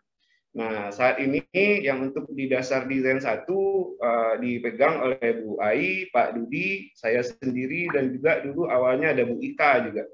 Nah, itulah ketika kita di awal mencoba merumuskan kembali uh, sebenarnya yang idealnya di, di tahun satu itu seperti apa gitu. Nah, berikutnya juga uh, mengapa dosen ini akan kita pecah. Nah, ini belajar dari uh, pengalaman bahwa ketersediaan waktu atau kesiapan kita dalam membimbing mahasiswa. Oleh karena itu ya kita mengacu kepada rasio dosen 1:15. Walaupun ini selalu kita kita pertanyakan juga ke, ke kampus apakah ia ideal ideal ini 115 karena kita juga sudah menjelaskan bahwa sistem di, di studio itu tidak sama dengan sistem di labor. Nah, oleh karena itu apa ya seharusnya ada hitungan tersendiri. Nah, tapi sampai sekarang itulah yang selalu menjadi perdebatan antara prodi dengan pihak-pihak universitas dengan pihak pimpinan. Nah, berikutnya adalah ya studio ini mata kuliah prasyarat. Jadi ini selalu kita tekankan Bapak Ibu. Jadi kita sudah mengatakan kepada mahasiswa ketika dia gagal satu mata kuliah studio, sudah kebayang dia akan telat satu tahun. Karena tidak ada mata kuliah yang berulang atau yang muncul di setiap semester. Jadi ketika dia gagal DD1, ya otomatis dia tidak bisa mengambil DD2. Di semester ganjil tahun depan, dia harus mengambil DD1 kembali. Nah, itulah selalu kita wanti-wanti kepada mahasiswa bahwa ya studio ini intinya ya harus serius, dan ikuti semua rule yang ada di situ gitu. Nah, sistem penilaian kita sudah mencoba merombak waktu itu, uh, mencoba dengan lebih sederhana lagi waktu itu Bapak Ibu ya dengan hanya poin 0123. Nah, inilah nanti yang akan dikumpulkan oleh mahasiswa ketika dia berada di akhir semester. Dan terakhir ya yang selalu dihebohkan dengan adik-adik mahasiswa adalah permasalahan absen. Ya kita selesaikan saja absen sesuai dengan progres.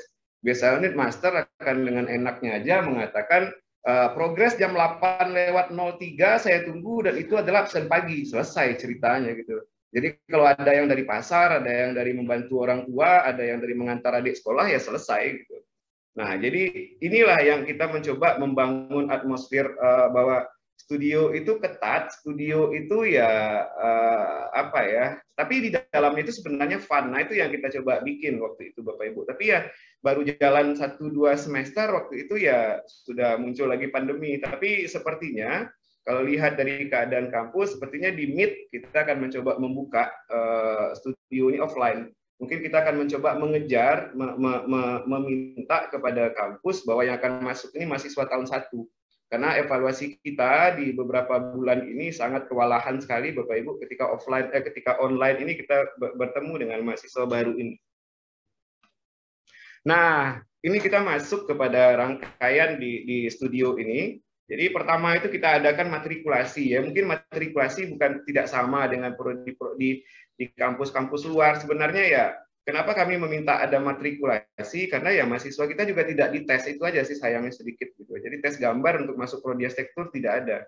Jadi oleh karena itu kebijakan kami di kita di di dasar desain satu kita mencoba melihat ini kira-kira source yang ada di di di di angkatan ini tahun ini seperti apa gitu. Biar kita jelas nanti ketika boleh meminjam istilahnya Bu Yeni tadi apakah berada di medium, apakah berada di low atau berada di average nanti kita akan coba lihat gitu.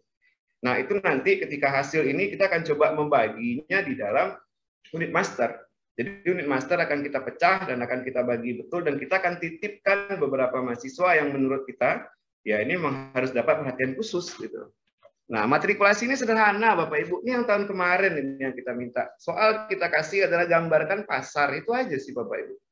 Tapi yang terjadi ini yang dikirim gitu. Cuman sayangnya mahasiswa kita ini tidak berada di kampus, jadi hanya share di di di, di form melalui melalui uh, Iya, melalui form yang di, di Google waktu itu. Ya ini yang kita terima gitu. Ya pertama melihatnya ya kita senyum ya ya oke okay, gitu. Is what we got, ini yang kita punya ya so what gitu. Ya kita harus mulai ya kita harus mulai menyusun lagi rencana apa kira-kira yang akan kita coba mulai dari ini, dari keadaan yang ada sekarang ini. Nah, berikutnya ini ada dua waktu itu. Yang kedua adalah menyalin. Itu saja soal yang kedua di matrikulasinya coba disalin gitu. Padahal sudah kita bilang landscape sudah ditetapkan, tapi di hasilnya lah ya ya kita paham saja ini adalah anak-anak yang baru baru tamat dari SMA dengan fun dengan senang hati mereka masuk kuliah ya ya mungkin mereka belum aware dengan hal itu. Nah, cuman itu yang menjadi catatan bagi kita setelah melihat dari matrikulasi ini. Oke, okay, ternyata ada beberapa catatan yang harus kita kejar untuk anak-anak ini. Jangankan untuk itu, Bapak Ibu, mengirim foto saja yang sudah kita bilang tolong difoto tegak lurus dengan apa yang kalian gambar yang di yang kalian gambar gitu. Masih saja mengambilnya dengan miring. Ya, mungkin dia kepikiran bagaimana mengambil selfie mungkin di kepalanya gitu loh. Bagaimana foto Instagram mungkin yang diambil gitu. Ya, tapi itulah hal-hal kecil itu ternyata ya berdampak ke kita gitu. Ketika tugas numpuk kita melihatnya di di komputer atau di HP ya kepala kita lima menit sudah sakit gitu. Kita tiap sebentar memutar HP, kita tiap sebentar memutar laptop akhirnya gitu. Nah itulah beberapa catatan yang menjadi perhatian kita gitu. setelah uh, matrikulasi, nah biasanya kita ada sarapan pagi ini di studio Bapak Ibu di hari Selasa dan dari Jumat itu namanya sketsa pagi ya. Ini tergantung kepada unit masternya siapa sih yang yang bertanggung jawab di pagi itu gitu biasanya nih mahasiswa itu kalau di online sekarang ya kita masuk ke Meet semua atau di Zoom semua, kita kasih waktu ya kita minta tolong gambarkan apa yang ada di dekat kalian hari ini. Itu kita request saja. Tolong gambarkan ada bangku enggak di sebelah, ada Pak. Tolong digambarkan itu dalam lima menit. Gambarnya seperti apa Pak? Terserah gitu. Sebenarnya dalam artian adalah bagaimana kita meminta mereka terbiasa dengan menggambar. Nah, kita tidak tidak tidak menentukan dari awal Bapak Ibu di, di sketsa pagi ini. Silakan gambar itu, silakan gambar ini ya, silakan dalam waktu 15 menit atau 30 menit silakan dikirim kembali. Sebenarnya ini permintaannya ya hal-hal dekat dengan mahasiswa, penggambarannya terukur, bagaimana mereka sudah mulai skala menurut mereka seperti apa sebelum kita masuk kepada pemahaman yang lebih lanjut kepada mereka gitu. Ini ada beberapa contoh yang menurut kami uh, ya lumayan gitu. Uh, waktu itu kita minta sarapan pagi kalian apa gitu, silahkan digambarkan. Nah ada yang ya ini beberapa yang lumayan gambarnya ya itulah kita kasih apresiasi waktu itu yang yang yang best di antara worst gitu. Nah kita biasanya juga selalu seperti sama Bu Yeni tadi kita coba memancing aja Bapak Ibu bahwa selalu di setiap penugasan kita jujur aja yang terbaik hari ini adalah ini yang terburuk hari ini adalah ini. Gimana mau lanjut apa enggak? Ya harus lanjut dong. Kalau harus lanjut gimana? Nah itu aja sih biasanya Bapak Ibu pemberian itu saja, pemberian semangat. Yang penting ya selalu senyum, selalu senang itu aja yang kita harapkan nih mahasiswa tahun satu ini. Nah berikutnya kita akan masuk ke ke, ke dalam materi pembelajaran yang kita coba urai di, di dari uh, dari capaian pembelajaran dan materi pembelajaran tadi Bapak Ibu sedikit bercerita ketika kita mendapatkan uh, studio sebelum pandemi yang lalu. Jadi gambar yang di atas itu Bapak Ibu itu adalah uh, keadaan prodi arsitektur uh, ketika di akhir semester sebelum kita mengadakan kalau di arsitek Bung Hatta ada BAX namanya Bung Hatta Arsitektur Expo. Jadi semua produk-produk tugas baik teori maupun praktek semuanya akan dikumpul dan semuanya akan dibikinkan pamerannya. Biasanya kita akan mengadakan pameran itu di jembatan itu pada David, di tempat kita terakhir diskusi rame-rame. Di situ biasanya di, diadakan box. Nah, di situlah nanti sampai kepada lorong-lorong dan mereka sudah kita pancing untuk terbiasa menjadi juri di antara teman-temannya. Kita sudah minta bahwa masing-masing mahasiswa ketika gambarnya di display, dia harus mencari dua dari juniornya, dua dari seniornya, dan dua dari angkatannya untuk menilai karya dia. Nah, itu akan bergulir nanti semua. Jadi mereka sudah terbiasa. Jadi kalau dulu mereka takut-takut kan itu yang kita kita kita pikirkan dulu ketika mereka selalu takut untuk bercerita tentang gambarnya kepada teman yang lain. Sekarang itu yang kita coba buang gitu. Itu itu yang kita coba hapuskan. Silahkan kalian mau membuat nilai apa pun terhadap nilai nilai gambar yang diselesaikan oleh teman kalian. Nah ini dia Bapak Ibu sebelum pandemi yang lalu betapa senangnya ketika sketsa pagi itu tidak lagi di studio kita bawa ke lapangan ya kita jalan kita jalan pagi-pagi melewati pantai di depan titik yang enak kita berhenti ya keluarkan alat gambar silakan gambar apa yang ada di sana. Nah biasanya ini merupakan salah satu pendekatan yang yang ya kalau bisa kita katakan ini sangat menarik bagi anak-anak waktu itu. Gitu. Mereka senang jalan-jalan, mereka sudah sudah mencoba berpikir ternyata arsitektur itu banyak banyak celah ya untuk masuk ke sana gitu. Tidak hanya dari studio tidak hanya dari perkuliahan. Nah inilah yang kita coba. Dan selalu kita paksa mereka untuk menjelaskan kepada teman-temannya sendiri. Jelaskan gitu. Kamu gambar apa? Jelaskan mau baik mau jelek mau mau standar itu ya itu tergantung kepada tangan dan tergantung kepada seberapa kuat kalian praktisnya. Nah, itulah selalu yang kita paksakan. Nah, satu lagi selain dari sketsa pagi, ini terakhir Bapak Ibu ketika studio masih aktif, sangat semarak sekali bagaimana mereka bekerja di sana dengan sangat ya ya kita bisa lihat ya dengan semangat dengan terasa aroma kompetitif di antara mereka dengan kita pancing sedikit ini kayaknya lebih bagus dari ini saya akan ngulang Pak. Nah, itu terasa sekali ketika mereka sudah mulai membuat perubahan bentuk dengan paper folding dan lain sebagainya waktu itu. Nah, ini beberapa produk di, di mereka ketika ketika mereka membuat beberapa tugas uh, terkait dengan dasar desain satu mereka pada saat itu. Nah, dari sini sudah kelihatan bahwa memang dari konsep yang kita tawarkan, yang kita coba push di kita rencanakan di dasar desain ini adalah kita belum berbicara tentang sesuatu hal yang rumit, kita hanya berbicara tentang naungan titik gitu. Itu saja yang yang yang kita sampaikan. Kita bikin apa Pak? Naungan gitu. Lah kok hanya naungan Pak? Ya mau bikin apa lagi gitu. Emangnya kalau hotel itu bukan naungan dan lain sebagainya. Nah ini makanya kita sekarang kita coba rem dulu ya pelan-pelan saja Ketika kita selesai di sini, baru kita naik kelas nanti, baru kita akan tingkatkan levelnya nanti. Nah, itulah selalu mengapa di dasar desain satu ini kita selalu melihat bahwa penugasan adalah pernaungan sederhana. Itu nanti yang akan kita jelaskan, Bapak Ibu. Nah, ini ketika mereka membuat gambar gambar-gambar bagaimana mereka membuat potongan, mereka membuat memotong sepatu dan lain sebagainya. Nah, ini terasa sekali sangat ya kalau saya sih mengatakan sangat indah sekali rasanya di studio gitu ceria sekali ketemu dengan anak-anak ini. Nah sebenarnya salah satu tujuan yang kita kejar waktu itu adalah adanya diskusi dan membangun sebuah pengetahuan dari mereka. Senang sekali bapak ibu ketika mereka berdiskusi di antara mereka bahwa ternyata gambarnya seperti ini ya. Oh enggak ternyata ininya tidak harus digambar. Jadi akhirnya apa? Mereka membangun pemahaman mereka membangun pengetahuan untuk mereka sendiri. Enak sekali waktu itu Nah, sekarang kita akan coba lihat Bapak Ibu ketika studio sudah masuk ke ranah yang sekarang ini di, di, di pembelajaran dasar desain satu sekarang. Saya ingin menjelaskan dari materi pembelajaran tadi. Kalau Bapak Ibu ingat yang di awal tadi ada line lettering, teknik penggambaran ortogonal, antropometri, dan yang di dalam kotak itu adalah painting and composition, cut bend and fold, origami paper structure, musik of architecture, puisi puisi dalam arsitektur dan terakhir ada non square metric. Nah, yang pertama itu adalah latihan membuat garis, huruf dan angka. Ini merupakan hasil evaluasi kita ketika setelah setelah melakukan matrikulasi itu Bapak Ibu. ya ternyata ya mau tidak mau ya walaupun ketika kita kuliah dulu saya sendiri juga kuliah ini juga di dicocol-cocolin sama sama asisten sama dosen gitu ya ternyata ini kita kita ulang kembali nah ini saja rasanya ketika itulah yang kita pikir beberapa evaluasi kita dalam beberapa minggu ya pertama mungkin efektivitas ketika adik-adik ini mahasiswa kita bekerja di rumah gitu ya mungkin persaingan tidak ada, mungkin diskusi juga tidak terbangun. Jadi produknya memang ya kalau dikatakan jelek ya enggak gitu ya. Kita sangat mengapresiasi apa yang mereka bikin ya. Semoga saja mereka selalu mengupdate diri mereka.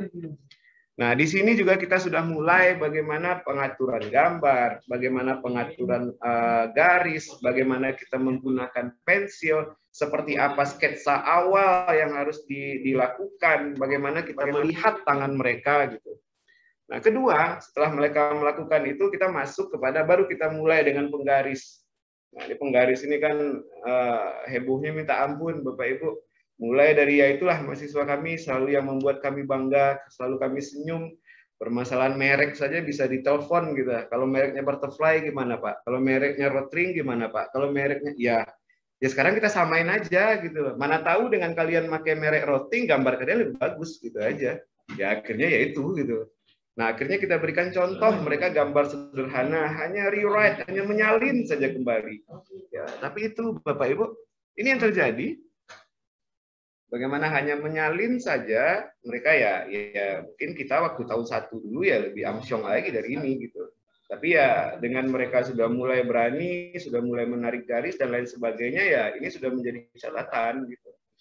Nah ada beberapa mahasiswa kita yang memang kelihatan sekali progresnya bagus gitu. Ya kalau kita tanya kenapa bisa bagus ya saya malah ulang lagi pak. Semua tugas saya ulang lagi gitu Nah, itu yang pertama. Yang kedua adalah teknik penggambaran ortogonal, isometri, perspektif, dan visual note taking. Nah, ini yang kita push saat ini, Bapak Ibu. Jadi di patahan minggu sekarang ini, kita memaksa mereka untuk menggambarkan proyeksi mulai yang dari sederhana, sampai kepada gambar ortogonal, sampai kepada yang agak lebih rumit lagi. Nah, ini yang kita kejar.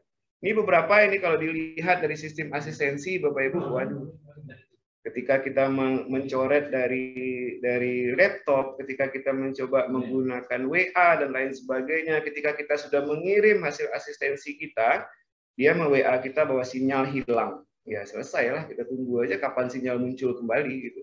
Nah, tapi inilah yang selalu kita push bagi mahasiswa-mahasiswa memang keras, kemauannya keras ya, kita akan memberikan privilege buat mereka. Silakan go. Biasanya tugas ini ber berunut ada dalam sehari itu kita akan membuat dua atau tiga serial tugas ya itu akan kita paksa.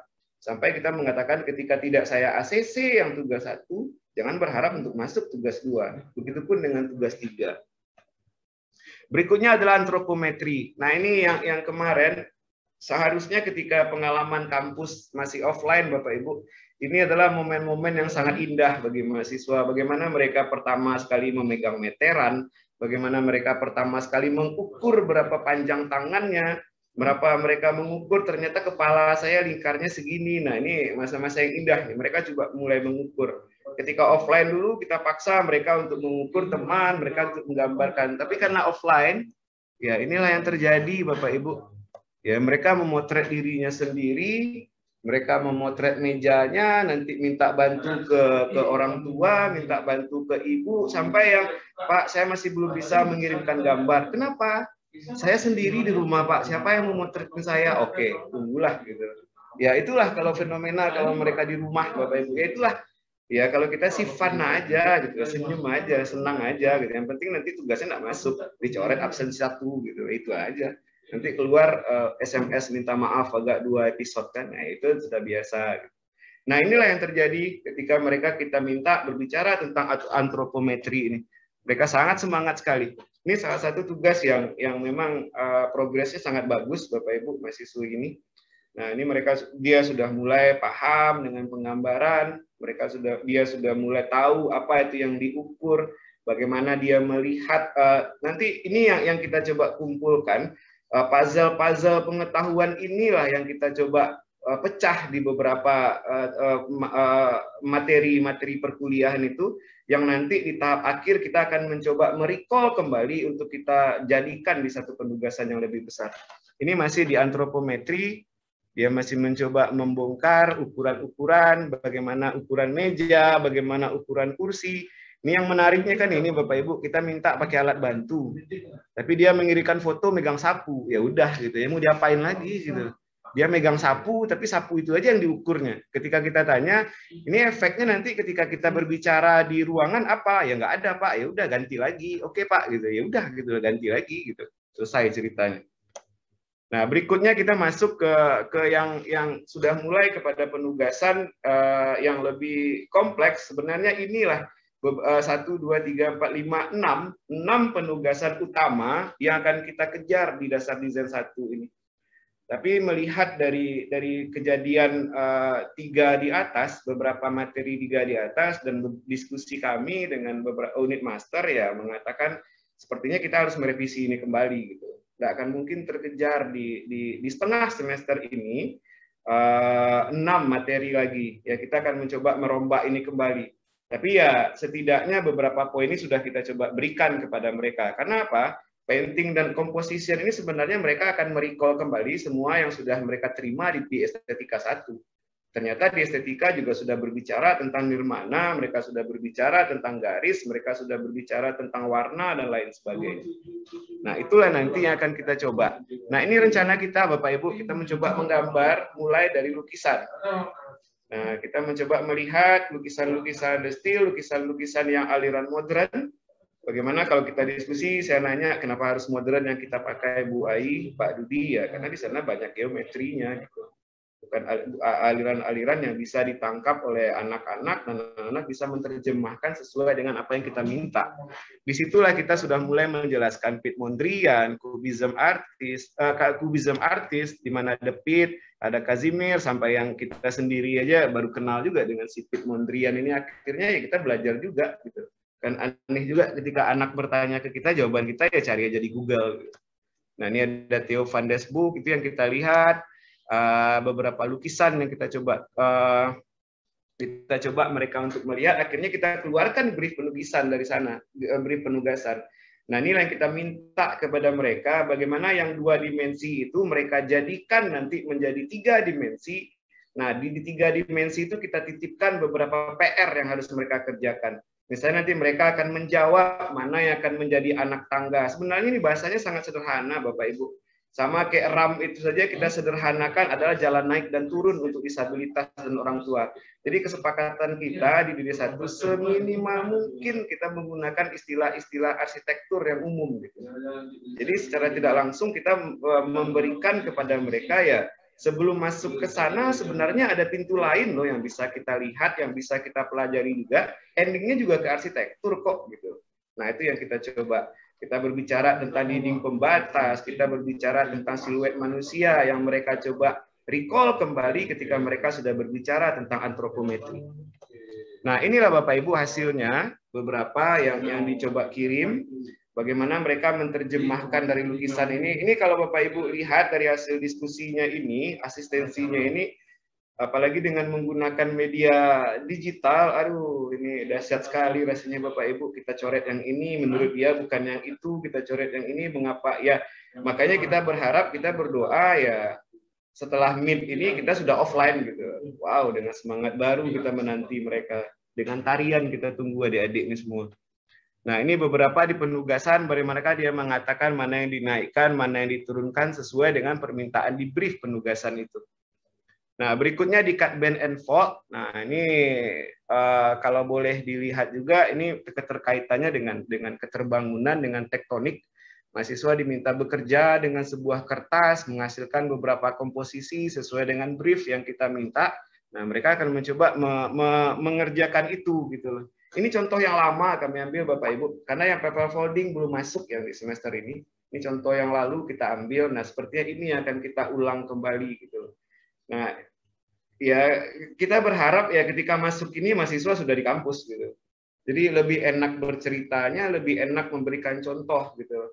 Tapi kita juga sudah mengatakan mengapa ini penting ya dari dari berbicara tentang ketika mereka kuliah di di, di pengantar arsitektur rasanya style arsitektur juga juga berpeng, dipengaruhi juga dari bentuk-bentuk yang seperti ini.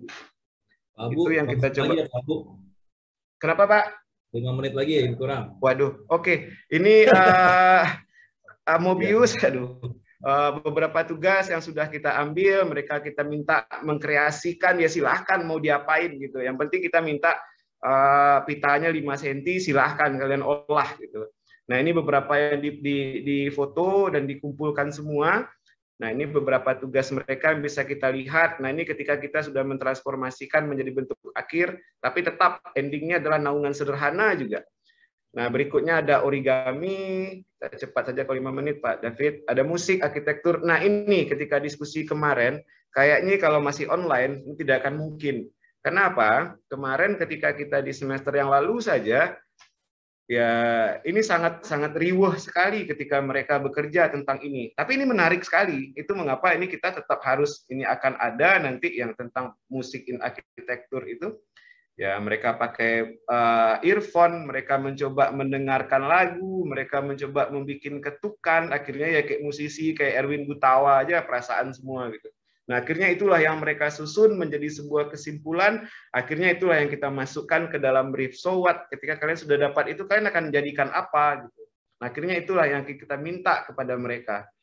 Itu berikutnya puisi. Puisi ini menarik sekali. Ketika kita minta menulis puisi, mereka mencoba kita minta baca. Ada yang kita bawa mereka ke atas ke lantai 4. Ya silakan baca di atas puisinya keras-keras silahkan kalian jiwai. Jadi intinya yang ingin kita kita berikan adalah kuncinya tidak satu jalur untuk masuk ke ke arsitektur itu. Itu saja sih pesannya yang ingin kami tampilkan, yang ingin kami sampaikan kepada mereka. Dari situlah nanti mereka mencoba menuangkannya menjadi visual note taking. Jadi visual note taking salah satu poin yang kita push juga di awal bahwa mereka ingin menceritakan sesuatu itu ya tidak dengan tulisan lagi, tapi dengan sketsa, dengan gambar-gambar sederhana yang bisa menjelaskan lebih dari kata-kata.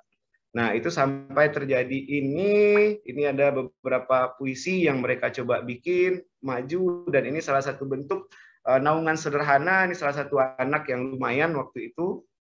Nah, terakhir adalah nine square metric. Nah, di sini kita ingin mengatakan bahwa sebenarnya ini adalah puncak dari penugasan mereka di dasar desain satu ini ya kita berharap tidak ada anak dasar desain satu kami yang masuk di encounter 5 ini. Nanti udah ketahuan aja nih endingnya gitu. Jadi inilah dia nanti PR mereka di akhir nine square metric bagaimana mereka akan mulai mengolah tiga kali tiga kotak uh, dengan penugasannya nanti ke kiri, ke, uh, ke kanan, ke atas, di mana nanti level satu itu adalah lantai, level 2 adalah dinding, level 3 adalah lingkupan. Nah, itulah nanti yang akan kita berikan kepada mereka. Biasanya ini sangat ceria sekali nih Bapak Ibu ketika di asistensinya. Di sini kita bisa bisa ya bisa marah-marah, bisa gontok-gontokan, kita minta ganti dan lain sebagainya. Apalagi di awal ketika memilih bentukan awal yang mereka ambil. Nah, itu menariknya di sana diskusinya yang kita rasakan. Nah, ini beberapa contoh uh, nine square metric yang yang berhasil mereka bikin. Mereka juga sudah mulai merecall kembali antropometri, mereka merecall kembali. Ini akan ada gambarnya nanti yang ortogonalnya, ada yang gambar proyeksinya nanti itu akan jadi istilahnya inilah puncaknya piramid mereka di DD1 ini. Semua pecahan-pecahan yang di atas itu akan mereka coba implementasikan di sini semua. Nah, di situlah nanti kita melihat apakah keterserapannya tinggi dan lain sebagainya nanti Bapak Ibu. Ini masih beberapa contoh asistensi, penilaian dan evaluasi. Nah inilah kalau ketika kita di di, di online ya kita bisa bikin X, bikin tanda tanya, tapi kita kirim sekarang dibacanya nanti dua eh, setengah jam lagi atau satu jam lagi. Ini nilai yang 0, 1, 2, 3 kita sudah mulai dibuka dan ini selalu kita share setiap hari kepada mereka. Jadi mereka sudah bisa menghitung saya nanti endingnya dapat berapa ini gitu. Nah ini dari proyeksi uh, tugas yang seminggu yang dua minggu yang lalu. Masih proyeksi ini yang kosong ya. Inilah bapak ibu kosong yang dikirimkan ke kita. Alasannya apa? Informasinya tidak dapat pak lampu mati gitu. Ya udah gitu. Selesai gitu ini yang masih itu dan terakhir adalah evaluasi. Jadi ada sedikit catatan Bapak Ibu yang ingin kami sampaikan terkait dengan DD1 ini. Ya mungkin yang lebih tepat menyampaikannya mungkin Pak Dudi atau Bu Ai atau Bu Ika kalau saya masih magang di DD1 ini. baru beberapa semester. Jadi ini yang kita lihat Bapak Ibu beberapa semester ini hasil dari diskusi kami adalah jadi uh, walaupun sudah ditumpangkan beberapa materi kuliah lain dalam semester yang sama, tapi dirasakan masih berat untuk mencoba meramunya di studio. Contohnya di dasar dasar desain satu ini gitu. Nah, inilah sebenarnya yang harus kita lihat ketercapaian di di di di, di, di estetika satu, ketercapaian di, di di keterbangunan. Nah, ketika dia satu semester, tentu kita harus mulai berpikir juga ini keterpakaiannya di pertemuan keberapa. Ketika ini pertemuan ke situ, saya harus memberikan ini di mata kuliah ini di pertemuan keberapa. Nah, itu kadang-kadang yang susah sekali kita menyamakannya Bapak Ibu. Pernah ada ide kenapa tidak kita majukan saja? Ya majukan lebih lebih lebih riwah lagi masalahnya gitu. Semakin bertumpuk dia ke atas. Yang kedua offline dan online terasa sangat berat. Offline saja berat ya berat gitu ketika kita mendiskusikannya. Apalagi dengan yang online yang kita lakukan sekarang gitu. mulai dari karena yang kita harapkan sebenarnya di DD1 ini Bapak Ibu adalah ya proses iterasi dan diskusi mereka itu sebenarnya yang kita tunggu gitu Eh, pengurangan materi takutnya akan semakin menambah berat beban di semester berikut. Nah, ini ketakutan kita. Ketika yang tadi kita rencanakan enam, akhirnya karena keterbatasan waktu, karena waktu yang tidak cukup, kita mencoba mengambil tiga saja. Takutnya di, di semester berikutnya ini sudah menumpuk gitu. Akhirnya semakin berat, semakin berat ya. Akhirnya apa? Yang kewalahan mahasiswa kita sendiri. Satu lagi yang kita pikirkan waktu itu adalah komunikasi lintas studio lintas unit master terutama terkait dengan materi dan keberlanjutan proses berpikir mahasiswa. Ini ini uh, kita buka kita cerita saja ini Bapak Ibu kadang-kadang ya berganti berganti levelnya naik ke patahan yang yang yang arsitektural desainnya ya ini nggak dipakai lagi gitu. Sayang sementara kita sudah mati-matian. Nah, diskusi itulah yang kita coba jalin selalu yang kita coba munculkan bahwa sebenarnya ini sebenarnya satu benang merah karena kita sepakat mengatakan bahwa studio studio itu adalah backbone kita gitu. Jadi ketika kita menaruh satu puzzle di DD1, seharusnya puzzle itu nanti akan dibawa oleh anak itu di tugas akhirnya gitu, tidak hilang di jalan. Nah, terakhir yang ingin kami lihat ya itu Bapak Ibu nih dugaan saya semoga saja salah ini bahwa seakan semakin ke atas kreativitas semakin berkurang. Nah ini selalu menjadi tanda tanya. Nih. Ya mungkin jawabannya kalau Pak David mengatakan jawab sendiri aja Pak Al pasti Pak David ngomong gitu. Oke, mungkin itu terakhir. Terima kasih, terima kasih. Uh, mungkin itu Pak David uh, presentasi ya, dari Padang. Kita kembalikan ya. ke Pak David. Ya, makasih banyak. Ya, uh, terima kasih. Oh, sekarang juga Bu Yeni bergabung lagi di sini. Jadi mungkin nanti kalau ada yang mau diskusi lagi terkait dengan apa yang dipresentasikan Bu Yeni, silakan. Ya, terima kasih ya. Tadi ada sudah presentasi dari Bu Yeni, dari Princeton University, terus ada Pak Al dari uh, Universitas Bung Hatta ya. Ada dua pertanyaan di sini. Mungkin setelah dua pertanyaan ini saya coba mengundang beberapa rekan dosen senior dan juga ada beberapa rekan arsitek yang juga hadir di sini untuk mungkin bisa berkomentar ya jadi saya saya mulai dari pertanyaan dulu aja nih. Pertanyaan pertama mungkin dari David Pak David Tangas ya.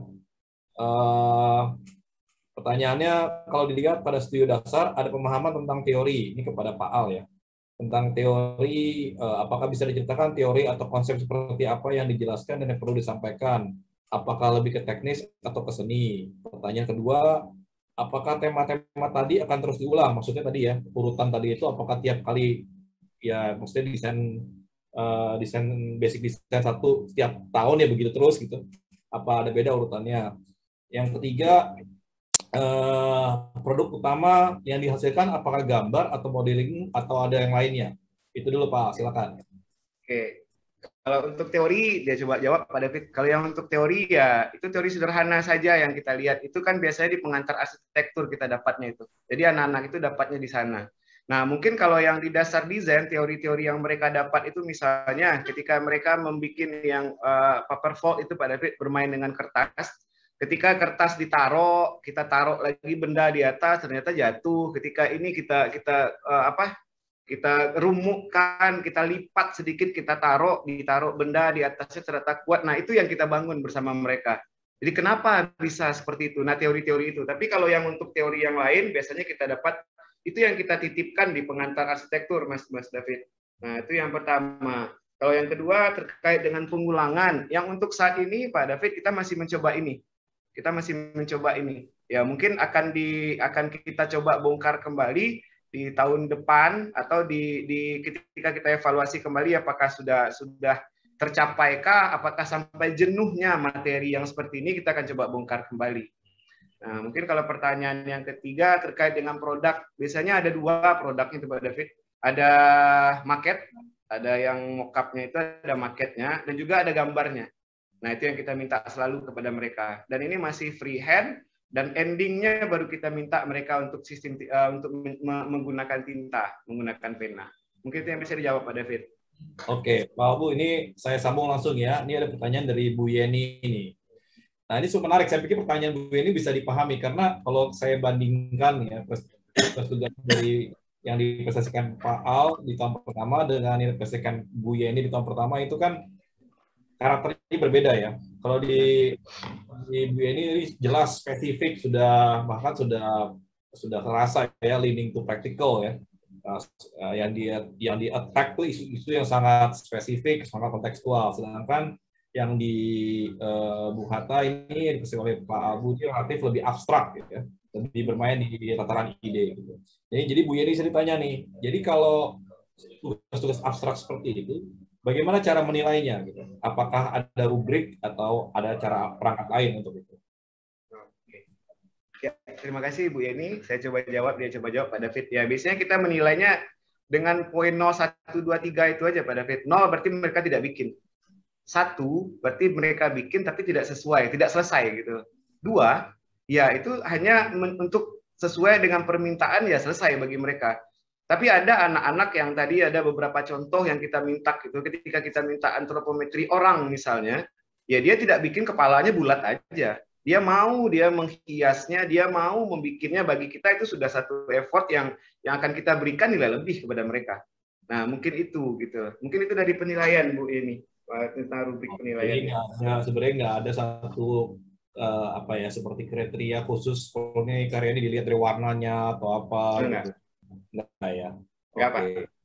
Okay. Uh, Oke, okay, mungkin saya mau undang rekan di sini ada ada Pak Akap, ada Pak Eko Purwono, ada Pak Sony Sutanto, mungkin yang bisa ikut berkomentar gitu. Silakan. Oh, Pak Sony, silakan Pak Sony. Ya, sore. Saya pertama kali ngikut ini menurut saya menarik ya melihat uh, dua presentasi hari ini sebenarnya kelihatannya mewakili dua tipe sekolah yang berbeda. Uh, yang Ibu Yeni sajikan pertama kali, menurut saya memang rasanya lebih terasa sebagai sebuah sekolah arsitektur yang menuju pada professional school atau lebih lebih narrow narrow broad uh, apa narrow base education lah. Tujuannya jelas menuju pada uh, apa usaha-usaha untuk mendekatkan diri pada profesi dan masuk ke dalam dunia profesi.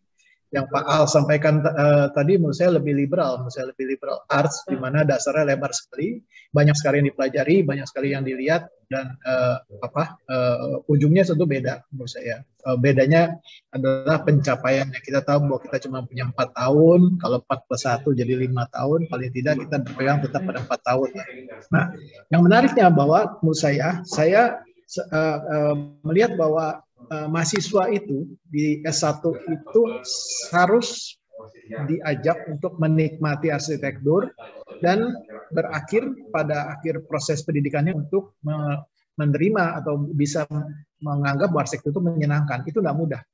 Itu nggak mudah. Saya sendiri uh, pegang uh, semester 1 di UI dulu pengantar arsitektur. Saya juga megang tingkat akhir, saya juga megang S2, PPHRS, macam-macam. Saya melihat bahwa banyak sekali dan kami juga saya juga mengalami waktu semester 1, 2, 3 itu tiga semester pertama itu semester yang sangat membingungkan gitu. Kami kerjakan tugas dengan mengikuti arahan dosen terus tapi kami nggak ngerti apa yang kami kerjakan. Nah anggapnya ini dosen suruh kita apa sih? Dapatnya kadang-kadang bagus. Dapatnya kadang-kadang kadang-kadang jebol kami nggak ngerti kenapa jebolnya kenapa bagusnya gitu ya. Nah saya melihat bahwa eh, penting sekali pendidikan sektor itu berproses secara bertahap Pertama adalah mahasiswa di, di, dibawa untuk diajak tahu dulu, tahu tentang arsitektur. Dari tahu dia mungkin bisa mengerti. Terakhir adalah mahir. Dan ini untuk tahu itu saya saya merasa bahwa apa yang dilakukan Bu Yeni itu menarik gitu. Kenapa? Bu Yeni mulai dengan sesuatu yang real, kasusnya real, dan kasus itu bukan kasus yang real secara fisik saja, karena apa yang Ibu sajikan uh, dalam proyek-proyek yang di uh, Saudi Arabia tadi, yang dengan courtyard, uh, dengan dinding tebal, dengan uh, apa dindingnya tinggi dan sebagainya itu adalah mitigasi iklim sebenarnya, mitigasi klimat yang merupakan jawaban arsitektur yang menghasilkan sebuah tradisi arsitektur dan dibaliknya juga ada kaitan dengan urusan-urusan kultural. Saya kira itu akan lebih kontekstual dalam bahasa Pak David tadi dan kita mahasiswa saya kira bisa merelasikan dirinya karena memang mereka berada di sana sehingga mereka oh begitu loh tahunya itu tahu betul-betul tahu gitu. Jadi mereka kemudian mereka bisa mengerti bagaimana belajar tahu tentang yang lain. Sekarang tahu tentang arsitektur Arab, Nanti besok mereka mau belajar tentang sektor Eropa, bagaimana tahunya itu juga penting untuk memiliki tools, alat untuk ke situ, dan memiliki tools untuk mengerti, dan akhirnya mereka mahir mengerjakannya. Bahwa sesudah itu mereka selesai, mereka mahir mengerjakan sesuatu yang lain dengan tahu bagaimana bisa tahu, mengerti bagaimana bisa mengerti, dan mahir bagaimana untuk menjadi mahir, itu kan menjadi skill pribadi. Nah, saya agak khawatir dengan apa yang apa Al lakukan karena menurut saya itu rasanya lebih tepat untuk dilakukan di S2. Saya pernah lakukan hal yang sama Pak Al. Tapi di dulu di UI juga saya lakukan. Saya pernah ngajar di Untar juga saya lakukan tapi di semester akhir semester 4 asik lah. Kami sempat main jazz bareng. Saya juga dulu main musik terus membongkar mendekonstruksi musik, main blues bareng-bareng dan membuat arsitektur dengan musik dan sebagainya. Akhirnya yang asik saya sendiri dan beberapa orang-orang yang gemar bermusik. Saya suka lukisan, saya suka art, tapi yang tidak tidak punya interest akhirnya kedodoran padahal pada satu titik saya baru saat saya mungkin merasa sadar bahwa saya itu salah. Kenapa? Pendidikan yang baik itu sebenarnya untuk kepentingan yang 80% yang sulit mengerti, sulit tahu, sulit mahir. Gitu. Itu kalau kita bisa menjangkau mereka kayaknya lebih lebih lebih fruitful gitu, lebih berbuah. Uh, kalau tidak, saya khawatir ya uh, yang anda lakukan itu bagus banget menurut saya. Bahkan melihat karya-karya Mobius itu aja saya senang karena saya juga mendalami matematik Mobius, toroid, macam-macam lah dan pernah mengaplikasikannya di proyek. Tapi kalau untuk anak tingkat awal kayaknya abstrak banget ya menurut saya. Jadi saya kira itu Pak uh, David, Pak Al, Ibu ya, Yeni. Uh, tapi ini adalah pilihan. Setiap kampus punya pilihan sendiri. Ujung-ujungnya satu secara profesi. Nanti waktu mereka selesai di S1-nya, mereka mau masuk ke dalam either PPRS atau masuk ke dalam praktik, entry-nya di praktek itu pasti akan ada pintu yang lebih mudah dimasuki oleh tipe A atau pintu yang lebih mudah dimasuki oleh tipe B. Pada saat ini, uh, dengan kondisi praktek di Indonesia di mana di mana biro-biro itu sibuk survival, eh, harapan bahwa biro-biro itu akan membimbing student-students yang baru lulus itu saya kira harapan yang sangat berat. Ya. Biro sibuk survival, nggak banyak pimpinan biro yang bisa eh, mendidik eh, adik-adiknya supaya bisa jadi profesional full. Eh, akibatnya mereka susah masuk dalam biro, akibatnya makanya kita lihat banyak di kampus yang bilang kok sekolah, sekolah sekian banyak yang jadi arsitek cuma sekian persen di bawah dua digit malah. Itu menurut saya karena entry-nya entry-nya susah. Akhirnya mereka jadi lebih mudah jadi suppliers dan hasil lebih besar dan sebagainya saya kira gitu Pak David. Pak Al Bu Yeni terima kasih banget presentasinya. Terima kasih Pak Sony Uh, ya, saya pikir itu yang menarik yang dianggap Pak Sony ya. Sebenarnya lebih masalah arah kan ya. Bagaimana kemudian satu studio memberikan satu titik tolak gitu kan. Ujungnya nih pendidikan arsitekturnya akan ke mana. Uh, mungkin saya undang Bu Yeni kan masih di sini, bisa ditanggapi nggak Bu? Komentar sedikit. Boleh, boleh Pak. Jadi mm, ya, uh, memang uh, kalau saya bilang memang kita sangat apa ya istilahnya ya saklek gitu ya. Ini uh, apa program-programnya disusun. Uh, mungkin per pertama itu karena pengaruh kita di bawah College of Engineering Ya, jadi kita memang uh, yang dari orang desain ini agak sulit untuk uh, berabstrak ria lah gitu. Tapi sebenarnya apa yang dilakukan seperti yang dilakukan oleh uh, Pak Busra tadi itu sudah kita lakukan di Basic Design One, Basic Design Two, Human Factors and Environment, uh, Technical Drawing, Lettering dan itu semua di uh, Technical Drawing One, Technical Drawing itu itu tentang uh, projection, orthogonal dan segalanya di situ, termasuk freehand drawings. Jadi memang uh, Design One ini perencanaan sesuatu ini untuk uh, mereka sudah dibekali dengan ilmu itu semua dan ini saatnya mereka terjun ke real project. Uh, apa namanya? Memang goal dari uh, jurusan departemen ini adalah uh, untuk menyiapkan apa graduates itu ready for the job market yang memang demandnya lagi sangat tinggi di sini terutama untuk uh, kaum uh, wanita female dan malah kalau lulusannya itu mereka masih pakai engineering. Uh, terus mengenai apa yang disampaikan Pak Sony tadi itu benar sekali Pak. Saya pernah megang mata kuliah uh, basic design yang sangat abstrak gitu ya. Uh, itu sulit sekali, apalagi mungkin untuk anak-anak Arab di sini yang berapa tahun yang lalu itu uh, musik sangat dilarang, baru berapa tahun terakhir itu musik di sini dilarang. Jadi ketika mengajarkan mereka tentang harmoni gitu, tentang rhythm gitu, sulit sekali. Dan makanya tadi saya tanya apakah Pak Busra menerapkan rubrik. Bahkan ketika kita sudah punya rubrik pun itu sangat susah menilai karena student-studentnya juga agresif gitu kan. Uh, misalnya kita cut poin mereka, mereka nanya di mana ini poin saya kurang. Kita nggak bisa bisa hanya sekedar bilang, oh kamu punya bagus, bagus in what way? Dia akan tanya in what way gitu. Kalau kita bilang oh uh, uh, incomplete gitu, oke okay, incomplete itu measurable. Tapi misalnya untuk yang level eksepsional ini gitu ya, eksepsional biasanya kita kasih range, misalnya maksimum uh, 10 gitu. Kita kasih range untuk eksepsional itu 8 to 10, tapi kita kasih yang 8 gitu. Dia akan tanya kenapa, kenapa nggak 9 atau kenapa nggak full mark gitu. Jadi kan uh, sangat sangat sulit ya, sangat sulit. Nah pernah ada satu tahun itu kita pernah coba seperti saya sampaikan tadi kan kita harus mengubah proyek yang memodifikasi verifikasi proyek dan setelah three consecutive semester kita harus merubah silabus. Dan uh, pernah satu kali itu kita coba uh, project satu ya, project one itu kita buat agak sedikit abstrak. Uh, karena waktu itu kita melihat uh, outcome dari basic design one and basic design two di angkatan itu agak lemah jadi kita mau, oh, oke okay, kita sambung sedikit lagi ke sini gitu. Sama seperti Pak Sony bilang, mereka nanya, ini kita apa, buat apa ini, buat apa kita uh, ngambil pose hugging, uh, semua kita minta mereka untuk me melakukan, merecord, mengambil foto working in pair gitu, semua pakai verb, hugging, kicking, apa pun lah gitu, semua dalam bentuk verb. Nanti uh, ditransformasikan ke dalam uh, model schematic model gitu ya. At the end kita waktu itu proyeknya itu aimnya itu uh, 20 shadows of uh, uh, house gitulah something karena di sini shadows itu kan uh, justru uh, apa namanya treasure ya yang harus dimanfaatkan gitu. Karena climate tadi karena climate-nya. Tapi akhirnya mereka enggak. Mereka bilang uh, uh, apa namanya ini desain ini mereka mau jump into the project dari project. Dan mereka very very excited gitu loh ngerancang ngedesain gitu loh.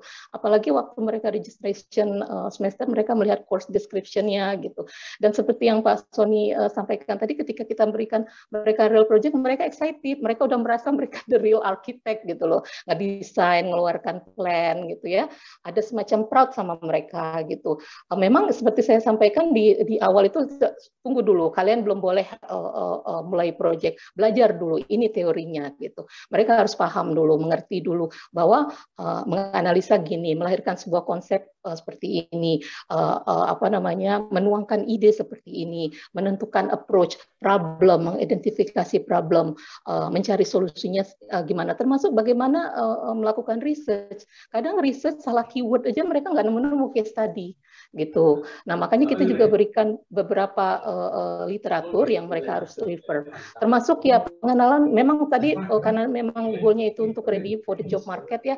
Jadi mereka memang harus benar-benar paham sama regulation di sini. Mereka harus tahu berapa maksimum tinggi uh, uh, bangunan untuk di wilayah itu sendiri uh, berapa maksimum tinggi pagar uh, uh, apa namanya uh, ya termasuk setback. Dan itu kita kita refer ke website government. Tahun sekian ini berubah tahun sekian ini. Sampai yang the latest the latest regulationnya itu kita uh, uh, apa namanya mereka harus merefer ke situ dalam site analysis. Termasuk juga kita nggak ngelupain standar-standar ya data arsitek dan semua semua. Yang yang mereka sudah pelajari di uh, uh, human factors and environment.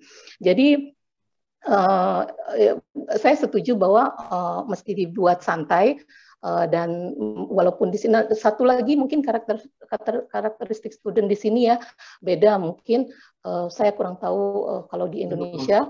Di sini um, bisa dikatakan mesti di feeding gitu loh mesti disuapin gitu di awal uh, terutama di studio ini gitu ya. Jadi benar-benar kayak di, di, diajarin kayak pernah tuh saya sampai waktu online, waktu online mereka menolak katanya kan dokter ini kami nggak mau ngerjain assessment apa assignment ini sampai kami kelas online. Kami pengen benar-benar uh, tahu dari dari dokter ini.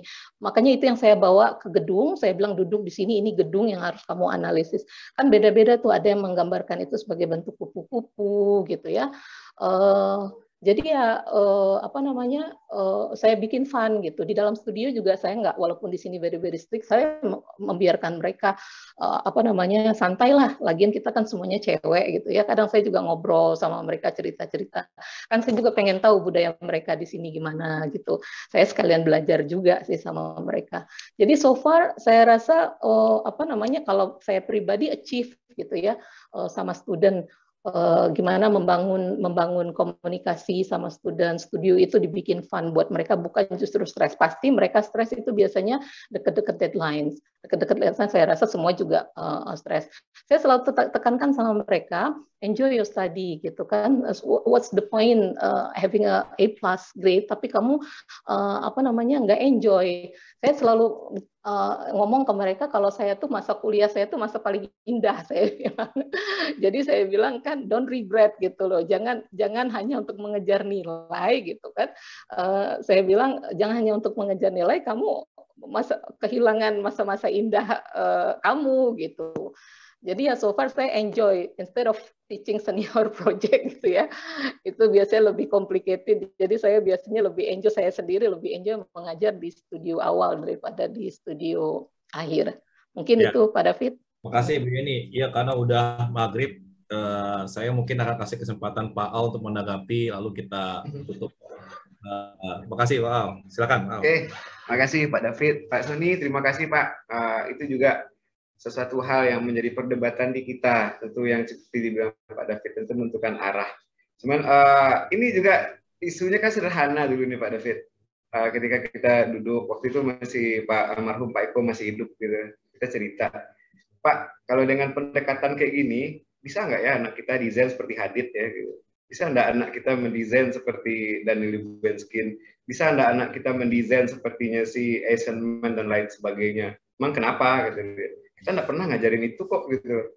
Nah, makanya itu salah satunya mengapa ini. Tapi benar kata Pak Sony, ini akan kita batasi nanti ini Pak, bahwa ini tidak akan selepas yang yang di, di DD1 seperti ini, masuk ke DD2, nanti ini akan semakin mengerucut karena ketika masuk ke patahan kedua, ke, ke arsitektural project, mereka sudah berbicara tentang konteks lagi. Nah, di situ nanti mereka akan berbicara uh, tentang uh, desain yang yang keterkaitan dengan konteks. Cuman kita selalu berpesan itu saja selalu Pak David bisa enggak yang yang di DD1 ketika dia sudah mencoba habis-habisan di sini mencurahkan skala energinya dia sudah mencoba memunculkan puzzle-nya sendiri dia sudah dapat gitu.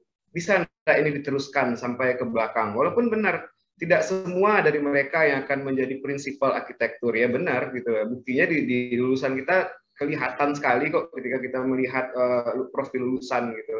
Nah tapi ketika kita berharap benar sekali kata Pak Sony ya. Di, di, di prinsipal kita hal-hal yang seperti itu yang untuk pembimbingan adik-adik kita yang baru ini ya kalau tidak mereka yang gigih sekali atau mereka tidak punya simpanan ketika di kuliah ilmunya ya mereka akan kelabakan sendiri nanti di dunia di dunia uh, profesionalnya. Mungkin itu kalau dari dia pada David. Tapi terima kasih Pak Sony menjadi bahan dari bagi kami nanti. Bu Yeni juga terima kasih Bu Ya, Pak Al, terima kasih banyak. Iya, kira-kira sudah dua jam, sudah maghrib juga. Saya mau akhir kata saya cuma mau mengucapkan terima kasih buat Pak Al, Bu Yeni, terutama ya sudah menyempatkan waktu.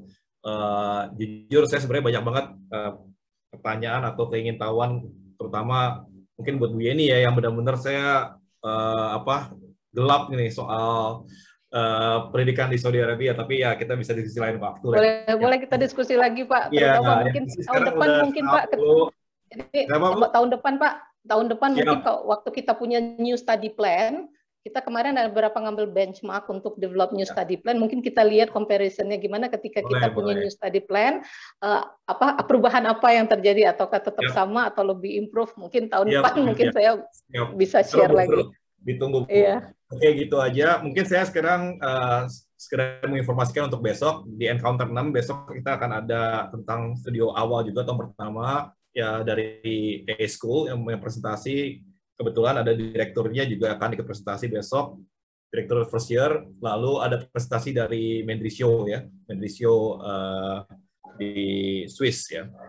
Uh, jadi uh, tolong kalau ada waktu berkenan berkenan silakan bertemu lagi dengan kami semua besok di jam 8 malam WIB. Itu aja. Terima kasih semuanya atas prestasinya dan waktunya. Sampai ketemu besok. Makasih Pak David. Pak David, Bu Yeni, Pak Sony, Bang David semua. Makasih, makasih semuanya. Makasih.